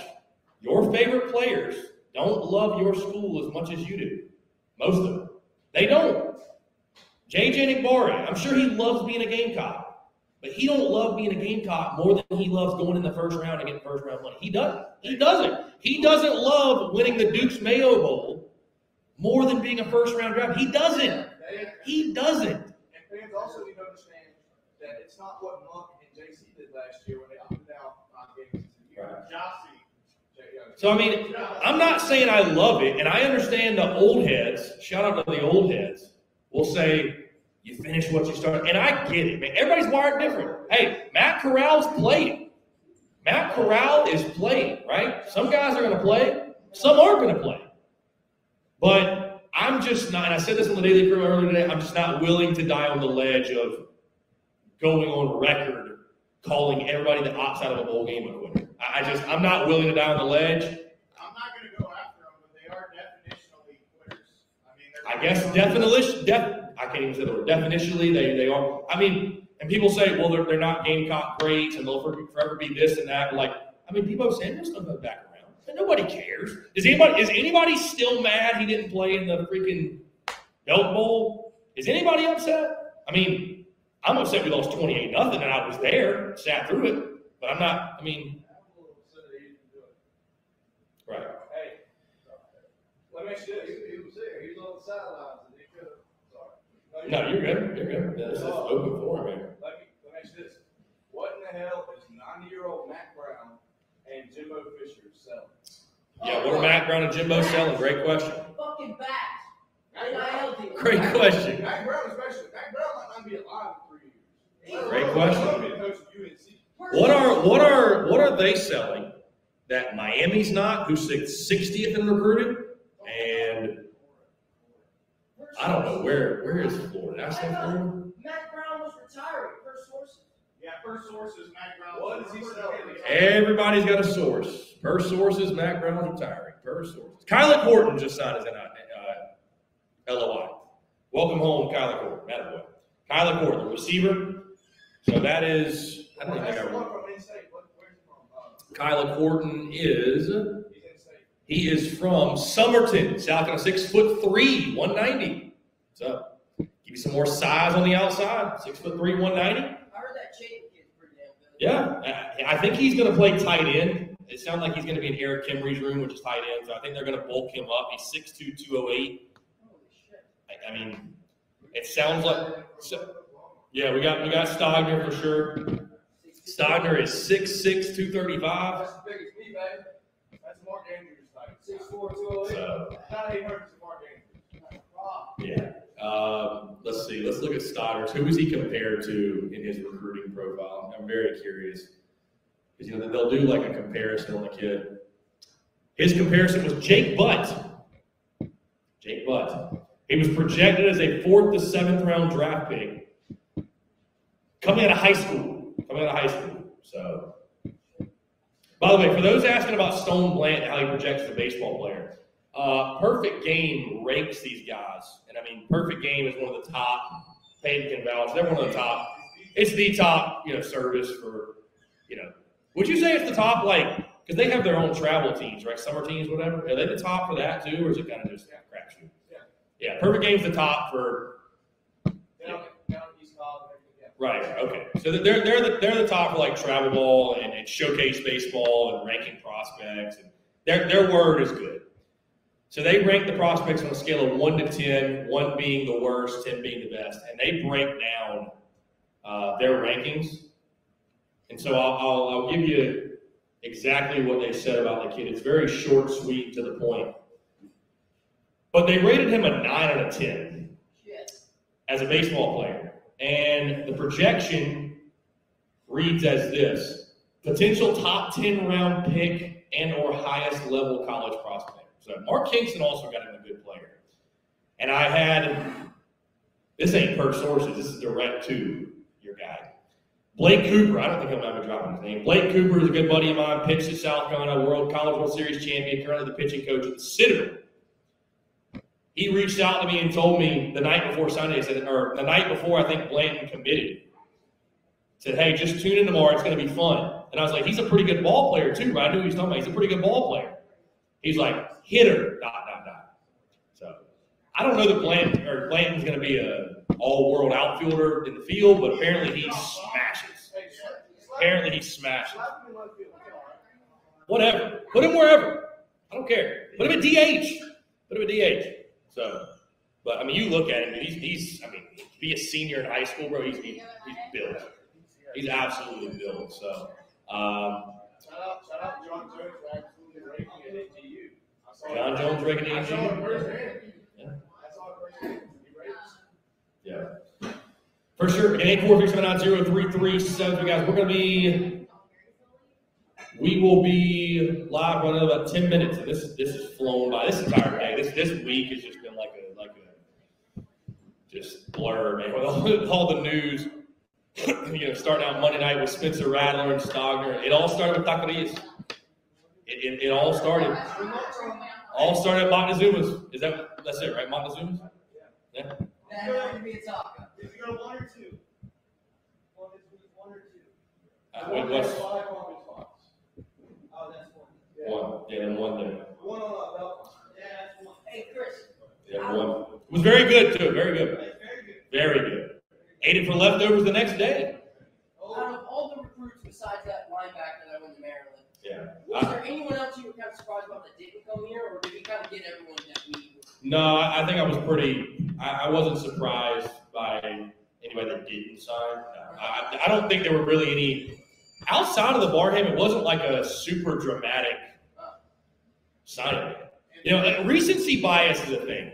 So let me just say this: our big news happened Monday night. Let's just say it did. Let's say it happened today. We are having a totally like the vibe. I'm not saying the vibe's bad, but again, I think we're just we're on cloud nine because of the, the Rattler and Stogner news versus being disgruntled and pissed off about the thing. I mean, I think we'd still be pissed off, but it would be far overshadowed by hype. I no, I get it, no, dude. I get it. Trust me. I, I, you know, I got on my laptop this morning, just like, what the hell, dude? Like, what? I thought they were trolling. It's like, no, Indeed signed his LOI to Maryland. I mean, dude, listen, if you'd rather go play college football in Maryland than South Carolina, then you know what? So be it. So be it. So be it, man. Whatever. It is what it is. What we wish you, like Beamer said, he said we wish you well, and I'm sure he wanted to say the same thing he said about Bobo. Hey, we wish you well, and I got nothing but uh, we wish you well. That's pretty much it. So, and you just leave it at that. You just leave it at that. Uh, oh my God. All right, I'm gonna read this comment off. JMO will like this one. JMO will like this one. Blaine says, per sources, per sources, Dabo Swinney admits that he actually, you know, I probably can't read this. No, I, I don't think I can actually. I, I really don't. We will we will read this. Make it cheaper. No, I, I, I can't. I can't. I can't. No, I can't. I'll Joe will be like, read it. You know, I, I can't. Oh, let me see it. Which one is it? The, the, the one on the bottom. One on the bottom. I, I don't, in this climate, I don't think that plays well. So I, I- I think I'm going to leave that one until after the show. We'll, we'll leave that one post show. it on YouTube? Doesn't play well. No, it's on Twitch. Ah. Doesn't play well in today's. We'll, we'll save it TSUS after dark. We'll post it in the Big Cock Club. Join the Big Cock Club. We'll post it in there. But I'm not going to go on record and read it aloud in this day and age when people can clip anything Yeah, and transform it into anything they want. yeah. I'm just not going to do it. So, uh, those in attendance, those in attendance, what, bro? There's 35 total in here, my guy. 35, to- dude. There were 500 people Monday night after Rattler. My guy said there were. This doesn't even count Twitter. He said there were 1,700 on Twitter too after Rattler and Stogner announced. Big boys. Taqueries, Hey, Hey, good luck, Tom. you got to look to him. I agree. good shit on the the Allen score that you predicted. It was actually The Allen score was close. It was actually a lot closer from what you said. Yeah. What did you say, like 117 to like 52? Right, Like, right. It was like 110 to. 48 or something like that. So, I don't know. Holy shit, you really actually predicted that well. I get some right, get a lot of them wrong, but I still get some right. That's the good news. Um, yeah, like I said, we're gonna stay live about another ten minutes or so. Shane we're going on, on his uh, call-in show at Backstreet's Bar and Grill at seven. So be very curious to see what Coach Beamer has to say. And uh, yeah, so anyways, eight four three seven nine zero three three seven seven again, guys. Gamecocks. Also says Dabo would prefer that you read it per sources. Again, post show, post show. We, we will we will dive into post show. Um, First source. per sources, yes, per sources. We will get into a post show per sources. Gamecocks sit twenty. All right, does this make you feel better? The Gamecocks are ranked twenty first on Rivals. I mean, the twenty first ranked class is not bad. Let me ask you this: After last year, you finished 79th. I told you, hey, you're going to finish twenty first next year. What would you have said? You'd be like jumping for joy and thrilled. Maybe not. Dal- Dalton's tough to please, and like hell no. After the top, after the top ten or twelve, doesn't matter. I think I think Beamer could have done better. To be honest.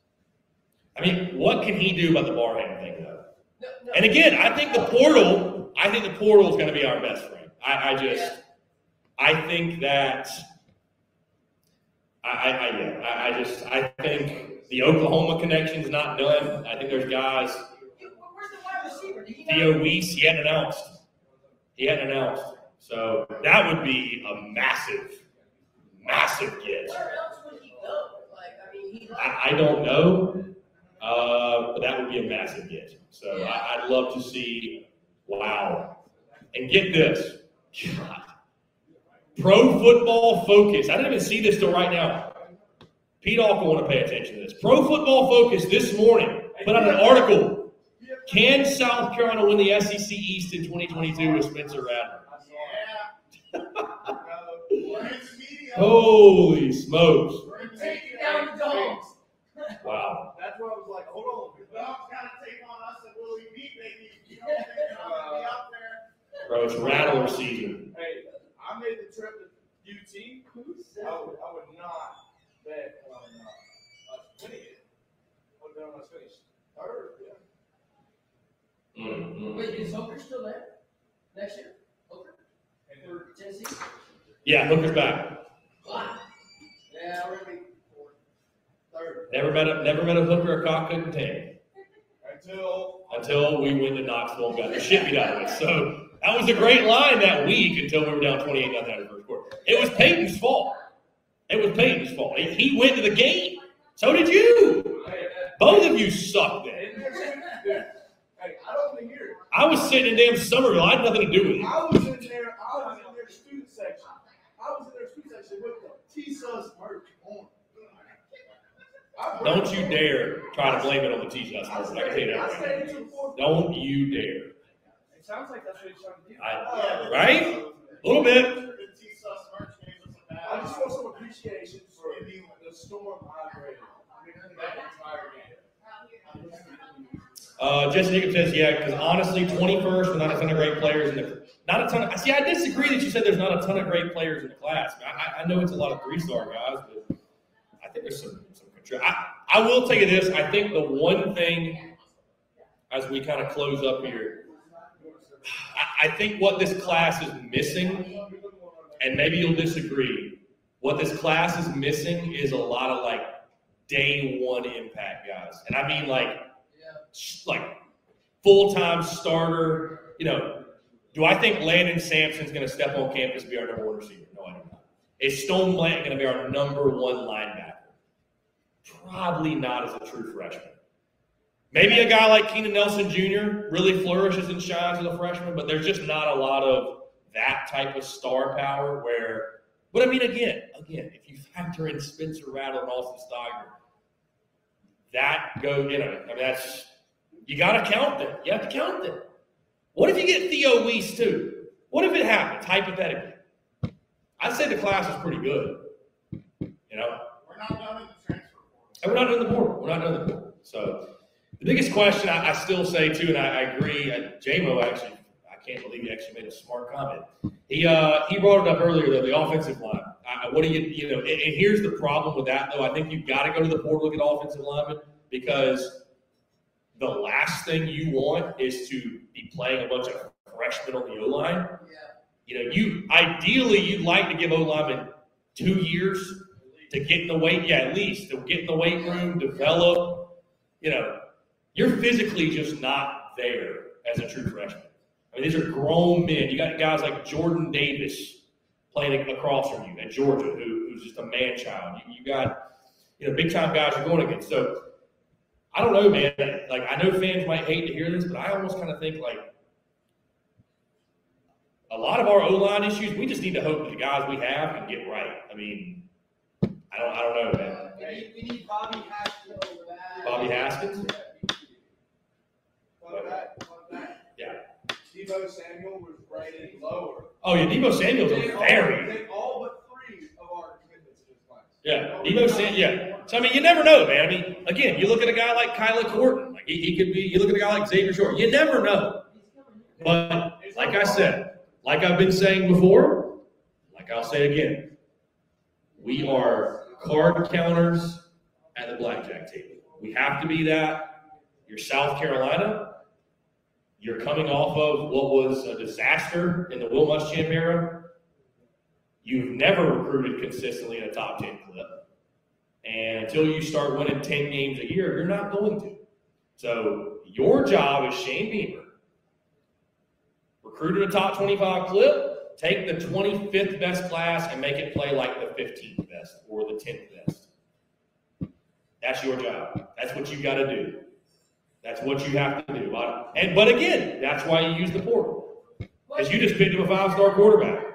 So There's a rated four stars now because he can't. well, whatever. Hey, there's a, there's a four-star Maryland linebacker, as a transfer. In the portal right now. Go get the just go get the four-star linebacker from Maryland. Yeah, just- And- and the portal. Just to say, you know, I mean, I've, I've seen a lot of tweets people say, just put Maryland on the schedule. Put them on the schedule. I, I'm, I'm with them. I didn't tweet it. Put Maryland on the schedule. Uh, I Why not? I'm down. Why not? I'm down. Sure. Again, guys, appreciate you all tuning in. Like I said, great interview after this with Kaiwan Lewis, from Gamecocks linebacker. Little throwback conversation, throwback interview uh, from back in the day. Really, really good stuff. We talked about his career. Kaiwan, of course, playing on some of the best defenses in Gamecocks football history. So, really, really great conversation. And those tuning in digitally, those tuning in the podcast, appreciate you tuning in again. A little bit of a crazy day. Decided to make this the podcast. So what you're hearing, this conversation at Roof, it will be tomorrow's podcast. So we can appreciate y'all being flexible with that. Like I said, it just made no sense to go back home and re-record everything, everything. So made no sense. Um, you know what I hate, man? College Football News has not released their prediction yet for uh, the game. Better be getting What's, what's going to happen? Seth Meyers going to get sacked twelve times. You know, how cool would it be though if the Zeb Noland story ended with a with a win of the ball, and we just carry Zeb out on, on our shoulders. Over Sam Howell. Zeb Noland beats Sam Howell to lead the Gamecocks to a Seven and six. 16 to 13 win. Sam Howell gets picked off four times. The Gamecocks run for 57 yards. And Jordan Burch, Jordan Burch had three sacks. It comes out of nowhere. Then declares for the NFL draft, even though he's not eligible. Hey, you know, that was building a good thing. right Yeah, no, that's what he's not. And fucking thing, uh, you go wherever you want. Spencer Rattler's in street gear on the sideline. Hey, Spencer Rattler spotted on the sideline rocking a Beaver Ball hat. He follows He follows the grant. He does. For those who might have missed it, we can close on that. We're, we're going to stay like two minutes. Spencer Rattler does indeed, not per sources, this is fact, follows the Spurs Up Show on Instagram. Shout out to QB1. Love to see that. Look at us. Spencer Rattler follows the Spurs Up Show on Instagram. You love to see that. Truly, truly. Love you, Spencer. We, we love you. We do. Even though you've never been. QB1. to the Five points. QB1, and those, yep, per sources, see, those were wrong. Spencer Rattler has not been to the Five Points Waffle House, as many rumored. I'll take him there. Well, hey. Uh, the last thing we needed to do is hang out with you. Hey, hey, hey, hey. No, my favorite reply today to that tweet was somebody, some anonymous account tweeted and said, "Yo, if you go to the Five Points Cookout, he valid. I saw that. He valid." I'm like, he is valid. You are right. You are right. Nah, but Garner's very, very said. Never lie. He ain't valid. It comes to Tin Roof. Got it. Next time you go ask about the kid who uh, five all stars. Five All Star specials. Was that That before? sounds terrible. Actually, sounds terrible. We made, we made it 30 to 30. I don't think I'd even eat two.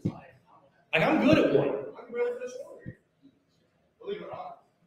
I, I don't believe it. Per story. Per. Everything is per story.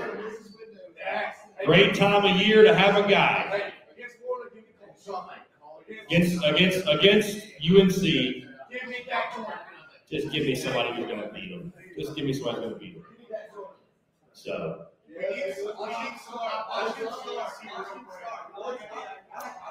Missed it, Kyler Gordon signing his letter of intent, and then he is the latest.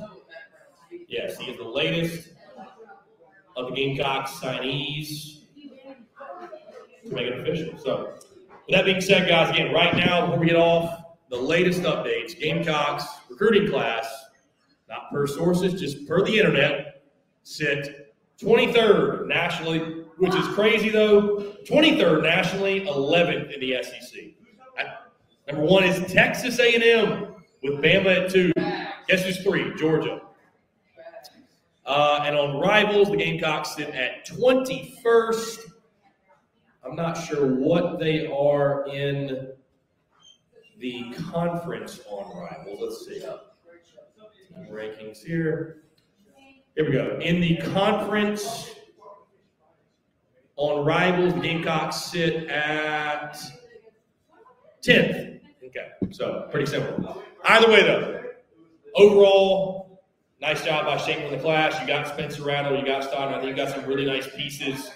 Um, in the class as a whole, I think you got guys that will be good players for you. And again, it's it's it's year one, man. You got a six and six, you got a top twenty-five class. It literally is year one. Hey, if we're in year five, year six, year seven, and you're pulling in the class, uh, the eleventh best class in the SEC, then I think maybe there's cause for concern. This is year one. So after the 79th ranked class last year, I got, I got four years eligibility. I'll step on. right. This just wait, breaking news. This just in. Gamecocks pickup commitment from zero star bartender, JMO. JMO, welcome to the team. Five star bartender, zero star Wada. Five star water boy, JMO. Obviously, you serve it every night. Right, exactly. That's a good place to close it. All right, hey, appreciate you all tuning in. Like I said, come on out to Tin Roof in the Vista, $3 drafts, $3 rumble, $7 book. 11? Wow, I thought it was 7. I got bamboozled, ran amok, led astray. Either way, whatever. Hey, why get the 10 for 14 wings when you can have five tendies? Five for 10 tendies. That's the question that truly needs an answer. That's the question that needs an answer. Again, folks, come on out to Tin Roof, though. Either way, great food, great people, great time. We're going to be out here, and I'll be tuned in to Shamer's call-in show at 7. See what Coach has to say. Again, guys, if you're tuned in digitally, thank you so much. Facebook, YouTube, Twitter, Twitch. Also, if you're tuned in the podcast, appreciate y'all for tuning in. Um, so until next time, y'all coming out to Tin Roof. Appreciate all those who came out, all the hom- all the homies, and uh, remember, folks, whatever you do, tip your bartenders and don't tweet it. Don't tweet it. Don't tweet it. recruits. All right. Appreciate y'all tuning in. For those of the podcast, enjoy this conversation before we get Cox linebacker. Go on, Lewis.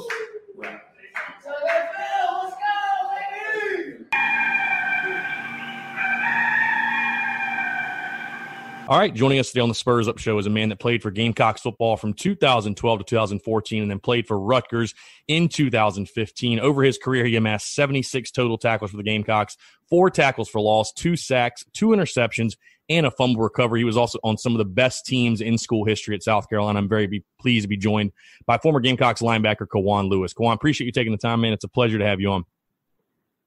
Uh, thanks for having me. It's a blessing and a pleasure. Appreciate it. Absolutely. So, Kaiwan, let's go back to the beginning for you because obviously you were a guy that was a very highly sought after recruit and a guy that you came in during the midst of the Gamecocks' best ever run in football. And obviously, like I mentioned, you were a part of that. But just kind of talk about your recruiting process and uh, what eventually led you to decide to go to South Carolina. Uh, the recruiting process was pretty crazy for me. Uh, it was a great time in my life. I was able to travel the country and amass over 25 scholarship offers from some of the greatest places in the country. So um, for me, it just came down to what was best for myself and my family, and a great opportunity at a great great university to play some great football in the SEC, which is why I picked the University of South Carolina. I, I was going to say, I, I know they really had it rolling at that point. How much did the the opportunity, like you said, to play in the SEC and win an SEC championship, how much did that that point come across to you? How much did that factor in your decision? Because again, you know, when you got on campus, South Carolina had guys on their defense like Jadeveon Clowney, DJ Swearinger, uh, Stephon Gilmore. The list goes on and on. But I mean, h- how much did that factor in to know that you were going to be playing on a really, really, really high caliber defense? Oh, that was big because I knew we, we would be able to compete at a high level with the likes of uh, the powers of the SEC and those other schools in the country. So it helped us a lot. I mean, we were on a roll. The university was already on the roll, and we got there. You know, we had some big wins against Georgia, uh, Clemson. Uh, they just came off the big win against Alabama the year before I got there. So Hmm. there's a lot of big things happening, and um, great chance for for you know some NFL exposure. You know, we had a it's like a hotbed in Columbia. I know obviously you played for Steve Spurrier. and I know the relationship kind of differs for different players, especially when you're a defensive guy. I know he didn't really he didn't really mess with you guys a whole lot. But what were your first interactions like with uh, with Steve Spurrier? Well, for me, it, was um, it was pretty good. He was a funny guy. I mean, he used to really get on me a lot because I kind of practice with one speed, and I, I like to I like collisions a lot, whether it be practice or in the scrimmages. And you know, he likes to protect his offensive guys. So I, I got I got thrown out of practice or scrimmages a few times, you know, due to high capacity collisions out there. So that was kind of my my big um my funny memories with Coach Spurrier was uh you know, just trying to protect his guys on the sure. offensive side of the ball. Yeah, I, I was about to say I, I've talked to other guys. I know he didn't like those defensive guys knocking around his his offensive guys in practice. But I, was just taking a look at your stats, Kaiwan. I mean, 2012 you played a little bit, but 2013, I feel like it really, really clicked for you. You know, you had the two interceptions, you had a fumble recovery against, uh, or you had a forced fumble against Clemson that was obviously huge on the punt. You had a fumble recovery in the bowl game. I mean, just talk about what I guess what clicked for you in the sense in your game? Was it just getting more opportunities, or was there something about your game that you feel like got that much better going in that 2013 year? Well, well, that off season, I spent a lot of time with you know some of the older players and and the likes of like um Shaq Wilson. Well, him coming back was huge for me, and um just learning the defense and putting the time in to actually understand and make the checks and be out there playing fast and not not tentative. So it was big for me to just take the off season and understand certain things to help me play faster Uh, you know, it's funny. We always have this debate. We were actually uh, talking about this, I think, last week or a couple weeks ago about the uh, the team of the decade as far as because you know the decade just wrapped up as far as Gamecock football is concerned. You were on both teams, so I'm curious to ask you between the 2012 and the 2013 teams, if you had to pick, if they if they played against each other head to head, uh, which one do you think would win in a game? Uh, I mean, it was um both teams are pretty exciting, but I'm gonna go with the 11 and two with the big win in the um the bowl game, and we finished number four in the country that year. Mm-hmm. So had it been a playoff, we probably been had been in the playoffs that year. You know, so good point. It was a it was a great year that year against Wisconsin. We won. So Good point. No, that's a good point for sure. Uh, just talk about yourself. You know, everybody that comes on, I ask about the South Carolina Clemson rivalry. Obviously, you were a part of beating Clemson five years in a row. Um, what did that rivalry mean to you? What does it mean to you now? And just for a guy that's been between the lines, I mean, what is it like playing in that rivalry? Oh, it's deep. I mean, for me, it was pretty deep rooted because growing up, that was always like my potential favorite team. My favorite team coming up as a kid. I loved Clemson. So when I got to the recruiting process, they were one of the few schools who didn't offer me a scholarship. So for me, it kind of like deflated all the love that I had for them. And then getting down to Columbia, it, it only emerged it even more to want to beat those guys as much as possible in upstate. What What was the first moment for you in the rivalry where you were like, "This is like pure hatred"? Like, like when when did it click? I guess like on the field because I know that it was already there, obviously. But I mean, when when did it click on the field uh, for you? Just just how serious it was. Uh, pregame pregame warm ups on the field. I would say we get just the the intensity of the rivalry just picks up at, at pregame that we don't like them, they don't like us, and it's kind of it's kind of noted. It's not like a friendly rivalry or anything like that. It's something that you really had to deal with for 365 days. For sure. So I want to talk about a game specifically, 2013. Kaiwan, you had a big play in it. That's the game at Missouri. Uh, the tip drill, you had the interception. Talk about just that game as a whole. Obviously, that play specifically as well. But I mean, one of the crazier South Carolina football games, I think, in recent memory when you guys were able to. Obviously, the Connor Shaw game, he's able to come in there and lead South Carolina back, but the defense had a really good day. But just talk about your play in that game in general. Oh, well, that week it was a, a, heavy study week, like, and that's one of the games that I talk about when I talk to kids and when I'm training kids a lot about film study because I was able to pick up a lot of key points and understand what teams do and tendencies prior to actually going in and playing the game. So it made the game a lot more easier. I mean, they have a lot of different things that you can tell what they're going to do before they actually do it. And then with the um the tip drill play was kind of big because a lot of your turnovers and you know big plays come from just hustle. You know, you they're not going to really just nobody's going to really throw the ball right to you. You got to hustle and get there. If you look at a lot of the, the interceptions that DeVonte Holloman made over the years when he was at the spur position, he um were a lot of hustle hustle plays. Look at the play against Georgia mm-hmm. that he made. It's a lot of hustle just to get to the ball. For sure. So I, I, do want to talk specifically about that Clemson game in 2013, Kaiwan, and the play that you had again on the punt. Um, I remember the play specifically. I, I, was in the stadium and I was surprised that uh, I think it was Adam Humphries was surprised he fielded yep. it first place, and he decides to field it, goes up, and you just kind of come out of come out of nowhere and just really just swat it away, and South Carolina recovers. I mean, a play like you said, really a hustle play. Like when you look at it, that's truly a hustle play, and you know being in the right spot at the right time. And I, I don't. I feel like players that make plays like that, it's not people. People want to say, "Well, that was lucky" or something like that. Like you, you don't get lucky. You put yourself in that that position. But I mean, yes.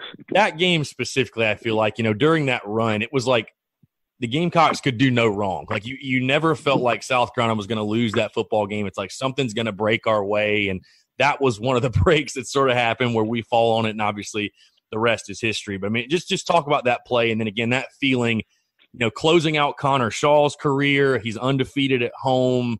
Um, you guys able to win the fifth straight against Clemson. I mean, j- just just talk about that feeling, that rush of emotions that night. Well, that, that game was a was a wild night. It was a crazy night, especially with that that play right there, knowing that we got the, the possession back and I had a, a big play in that.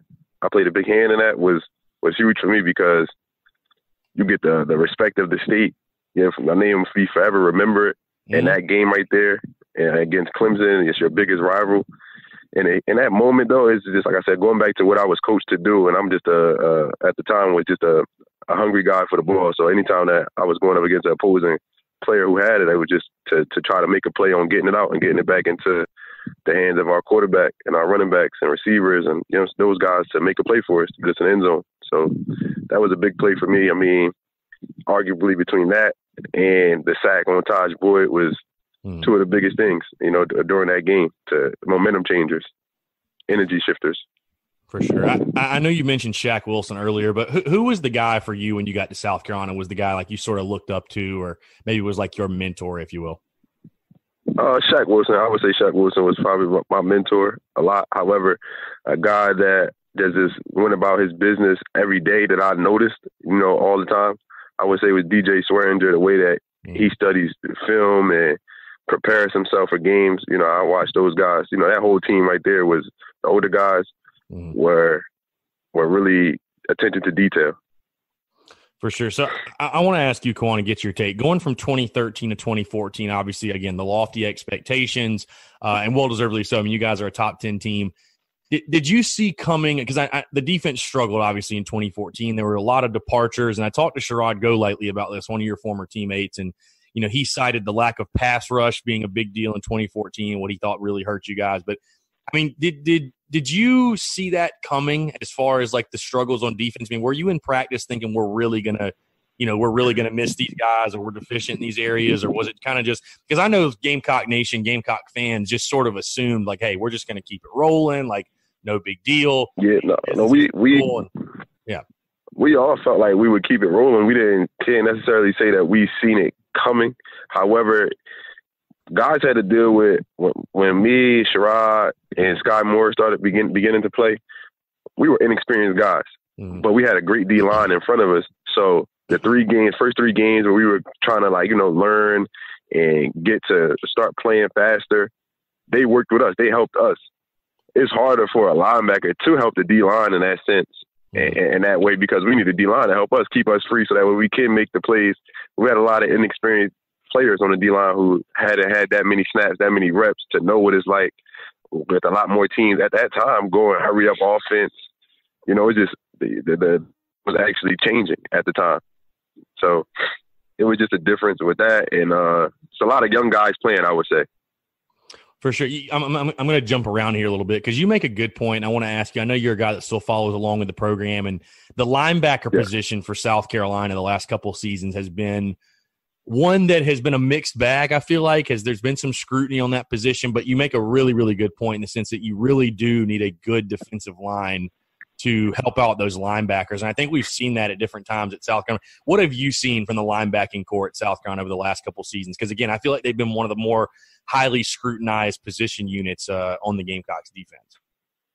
Well, I mean, you, uh, me from what I've seen over the years and just being able to watch these guys, I love the way that T.J. Brunson has played over the years. I think that if you get a core of guys that actually play for a while together, you know, bond together and able to play over a few years together, it helps a lot more than just you know always you know a couple of JUCO guys here, a couple of JUCO guys there. Everybody's in for a year and out the next year. It's kind of hard to gel that way. You got a lot of people trying to make plays. You know what I'm saying? Mm, just oh, for yeah. themselves. So it's a difference. When you get a core group of guys that have been there two, three, four years, if you gel together, you understand the understand the system and the scheme, you play faster that way. And you make a lot more plays. Look at those guys at the University of Miami. I believe they played over 50 games together Mhm. at, at linebacker, and and it shows at times. You know what I'm saying? So, that so that experience at the linebacker position, like almost like offensive line, like that that that really does matter just as much as the linebacker position as any other position, really. Yes, because you're in charge of you're in charge of ev- everything. You know, gap gap responsibilities and getting the D line information and getting the, the back end on the same page as you. So when you're kind of just thrown into the fire, I know what it's like. I know what it's like. North Carolina came out my first start. They come out running hurry up offense, and I'm trying to get everybody everybody lined up. And it's my first start. Mhm. Learning a new system, and these guys going to hurry up offense, and it's 100 degrees in Columbia. it can be tough. It Yeah, can wa- be tough. I was at that one. That was one of the hotter days. I think we that was one of the hotter days I think we've ever had as far as a game day is concerned. But uh now I was going to ask you. Obviously, you you were fortunate enough, Kaiwan. You played a lot of great moments at Williams Brice Stadium. You were a part of them. I think off the top of my head.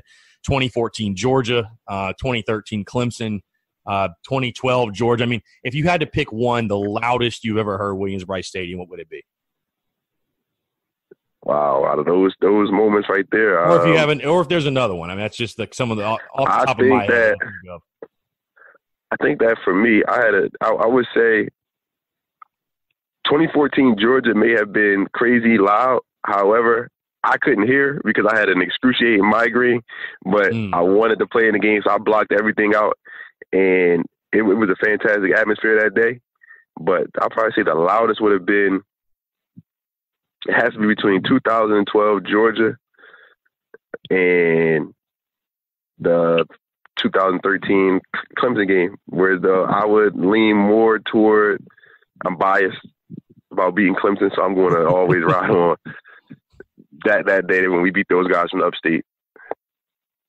For sure. So uh, you, you take a look at your career again. You know, three years at South Carolina. You transfer to Rutgers. Uh, had a really good year for Rutgers in 2015. Was a decision to transfer for you, Kaiwan? I guess how difficult was the decision, if difficult at all? I mean, I'm sure it's something. It looks like you probably wanted more opportunities. And I mean, again, you because I mean, you you had a great year in 2015 for Rutgers. But just talk about that decision to transfer. What went into that? How tough, it, if at all, was that decision to make? Oh, well, that decision I never really wanted to leave Columbia. I love that. I love the University of South Carolina to this day. I, anywhere I go, I'm liable to have something on. I, I have my bowl watch on actually right now with the uh, Block C in it. So I'm kind of indebted forever to the university, and I never wanted to leave. However, I had some family situations over um, in 2013 and 14 in which I felt the need to be closer to my family, Mm. and we had a, a, a, a horrific back-to-back years as, as a family that I needed to be closer to home. So I was happy to be able to be a graduate and also be able to be close to my family at that time.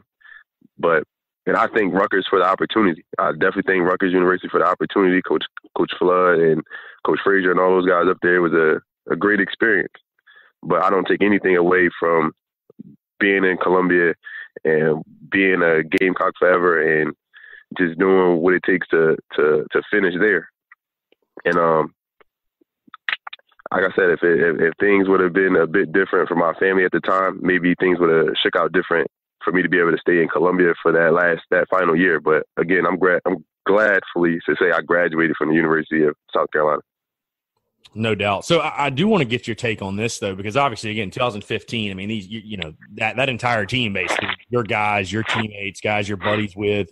You know, Steve Spurrier obviously resigns midway through the year. I mean, how surprised were you? Obviously, not being in Columbia, but you're. I mean, I'm sure you're keeping up with it. You're seeing what's going on. I mean, how surprising was it to you just how the 2015 season unfolded from the record being what it was to Steve Spurrier resigning? And I mean, you know, people make the great point. This is less than two years after, like you mentioned, you guys go 11 and two and finish fourth in the country. I mean, how how shocking, I guess, was all of that to you? Uh, to me, honestly, I don't think that it was that shocking. I felt like we all had, as players, probably even during the successful years that we had at South Carolina. Like, like I'll say that I'm a South Carolina guy. I think deep down inside, Coach Spurrier will always be a Florida guy. Hmm.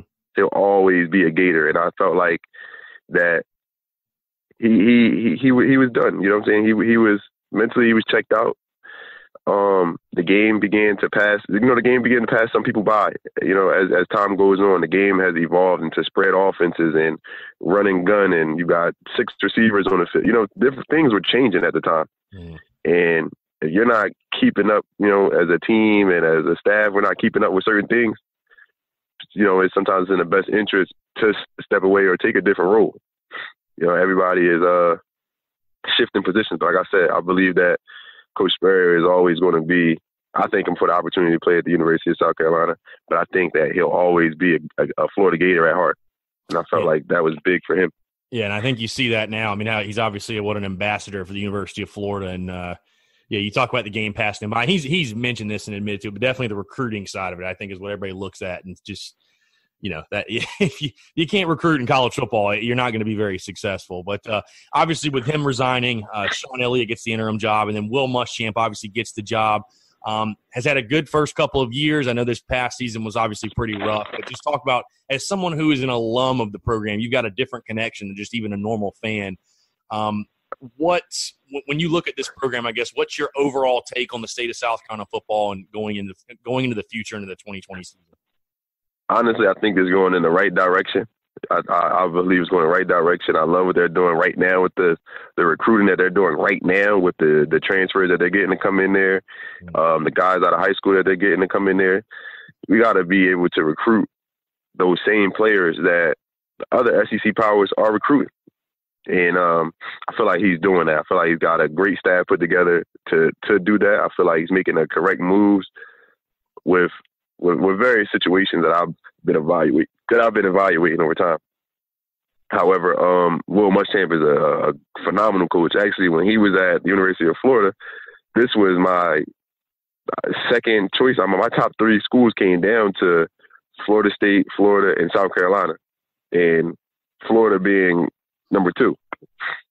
So I'm happy that Will Muschamp is with the Gamecocks, you know, and uh, forever will be thankful to that guy because he offered me an uh, offer to further my education as well as my athleticism.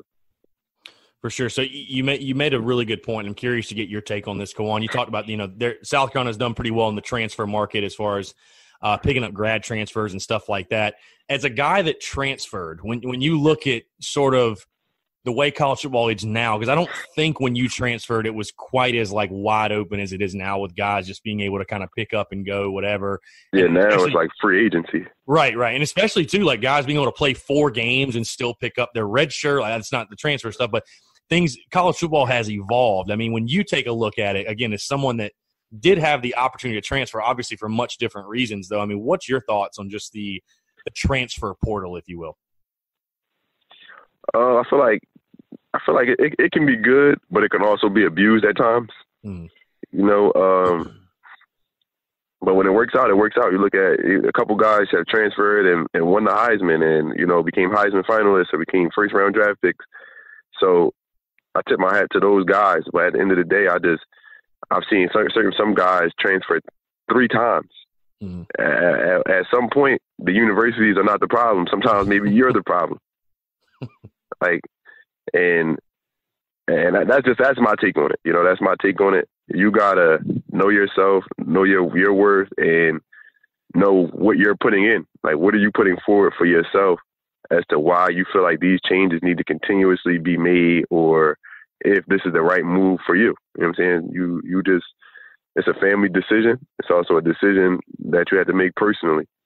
But that's my, my take on it. You know, what I mean, if it's a, if it's a one time thing, you put yourself in a better position. I never would have fought a, a player or a school, but I've got those guys that are transferring three times. I think that's a a bit excessive. Yeah, I mean it's it's crazy. I was taking a look at the college football playoff this year, for example. Three of the four quarterbacks, three of the four quarterbacks in the playoff were guys that have transferred, which which I think is just it's it's kind of crazy when you think about it. Like that's that's kind of the reality. Like if you need a quarterback, just basically hit the free agent pool, like you were saying. Um, all right, so go on. Let's switch gears a little bit. Just talk about what you're doing currently now. I know you talked about at the beginning of the show training athletes. I mean, what what what's the life of Kaiwan Lewis right uh, like uh, right now? Uh, life of Kaiwan Lewis right now. Um, face some adversity over time. You know, just um, moving forward my life right now currently and just trying to make better decisions and continue to share my story and my life with the athletes of today and the students of today and um, help others, the young guys, get to colleges now and um, training athletes and just trying to help everybody, you know, further themselves and learn from one another and continue to help everybody be successful. No question. So, Kaiwan, I'm going to get you out of here, but last question before I let you go, and I feel like I know where you're going to go with this, just because some of your comments from previously. But if you had to pick one moment that was your your favorite memory in Garnet and Black, what would it be? I would say the sack on Tajh Boyd. I think that would be I think that would be a, a big moment for myself personally. Um, and just going 11 and two. I mean, that that year was a historical year, finishing number four in the country. People might not understand how hard that is to do. Yeah, hi- highest finish in school history ever. So I, I uh, you know, I, it's the amount of good memories you guys provide Gamecock fans is you, you can't even put it into words. But Kaiwan, really do appreciate you taking the time, and man, like I said again, it was a pleasure watching you in Garnet and Black the way you played the game, and again, all the great memories. There's so many moments we could spend hours talking about, but uh, really do appreciate you taking the time, man. Let's do it again soon. Thank you. I appreciate it. Go Gamecocks.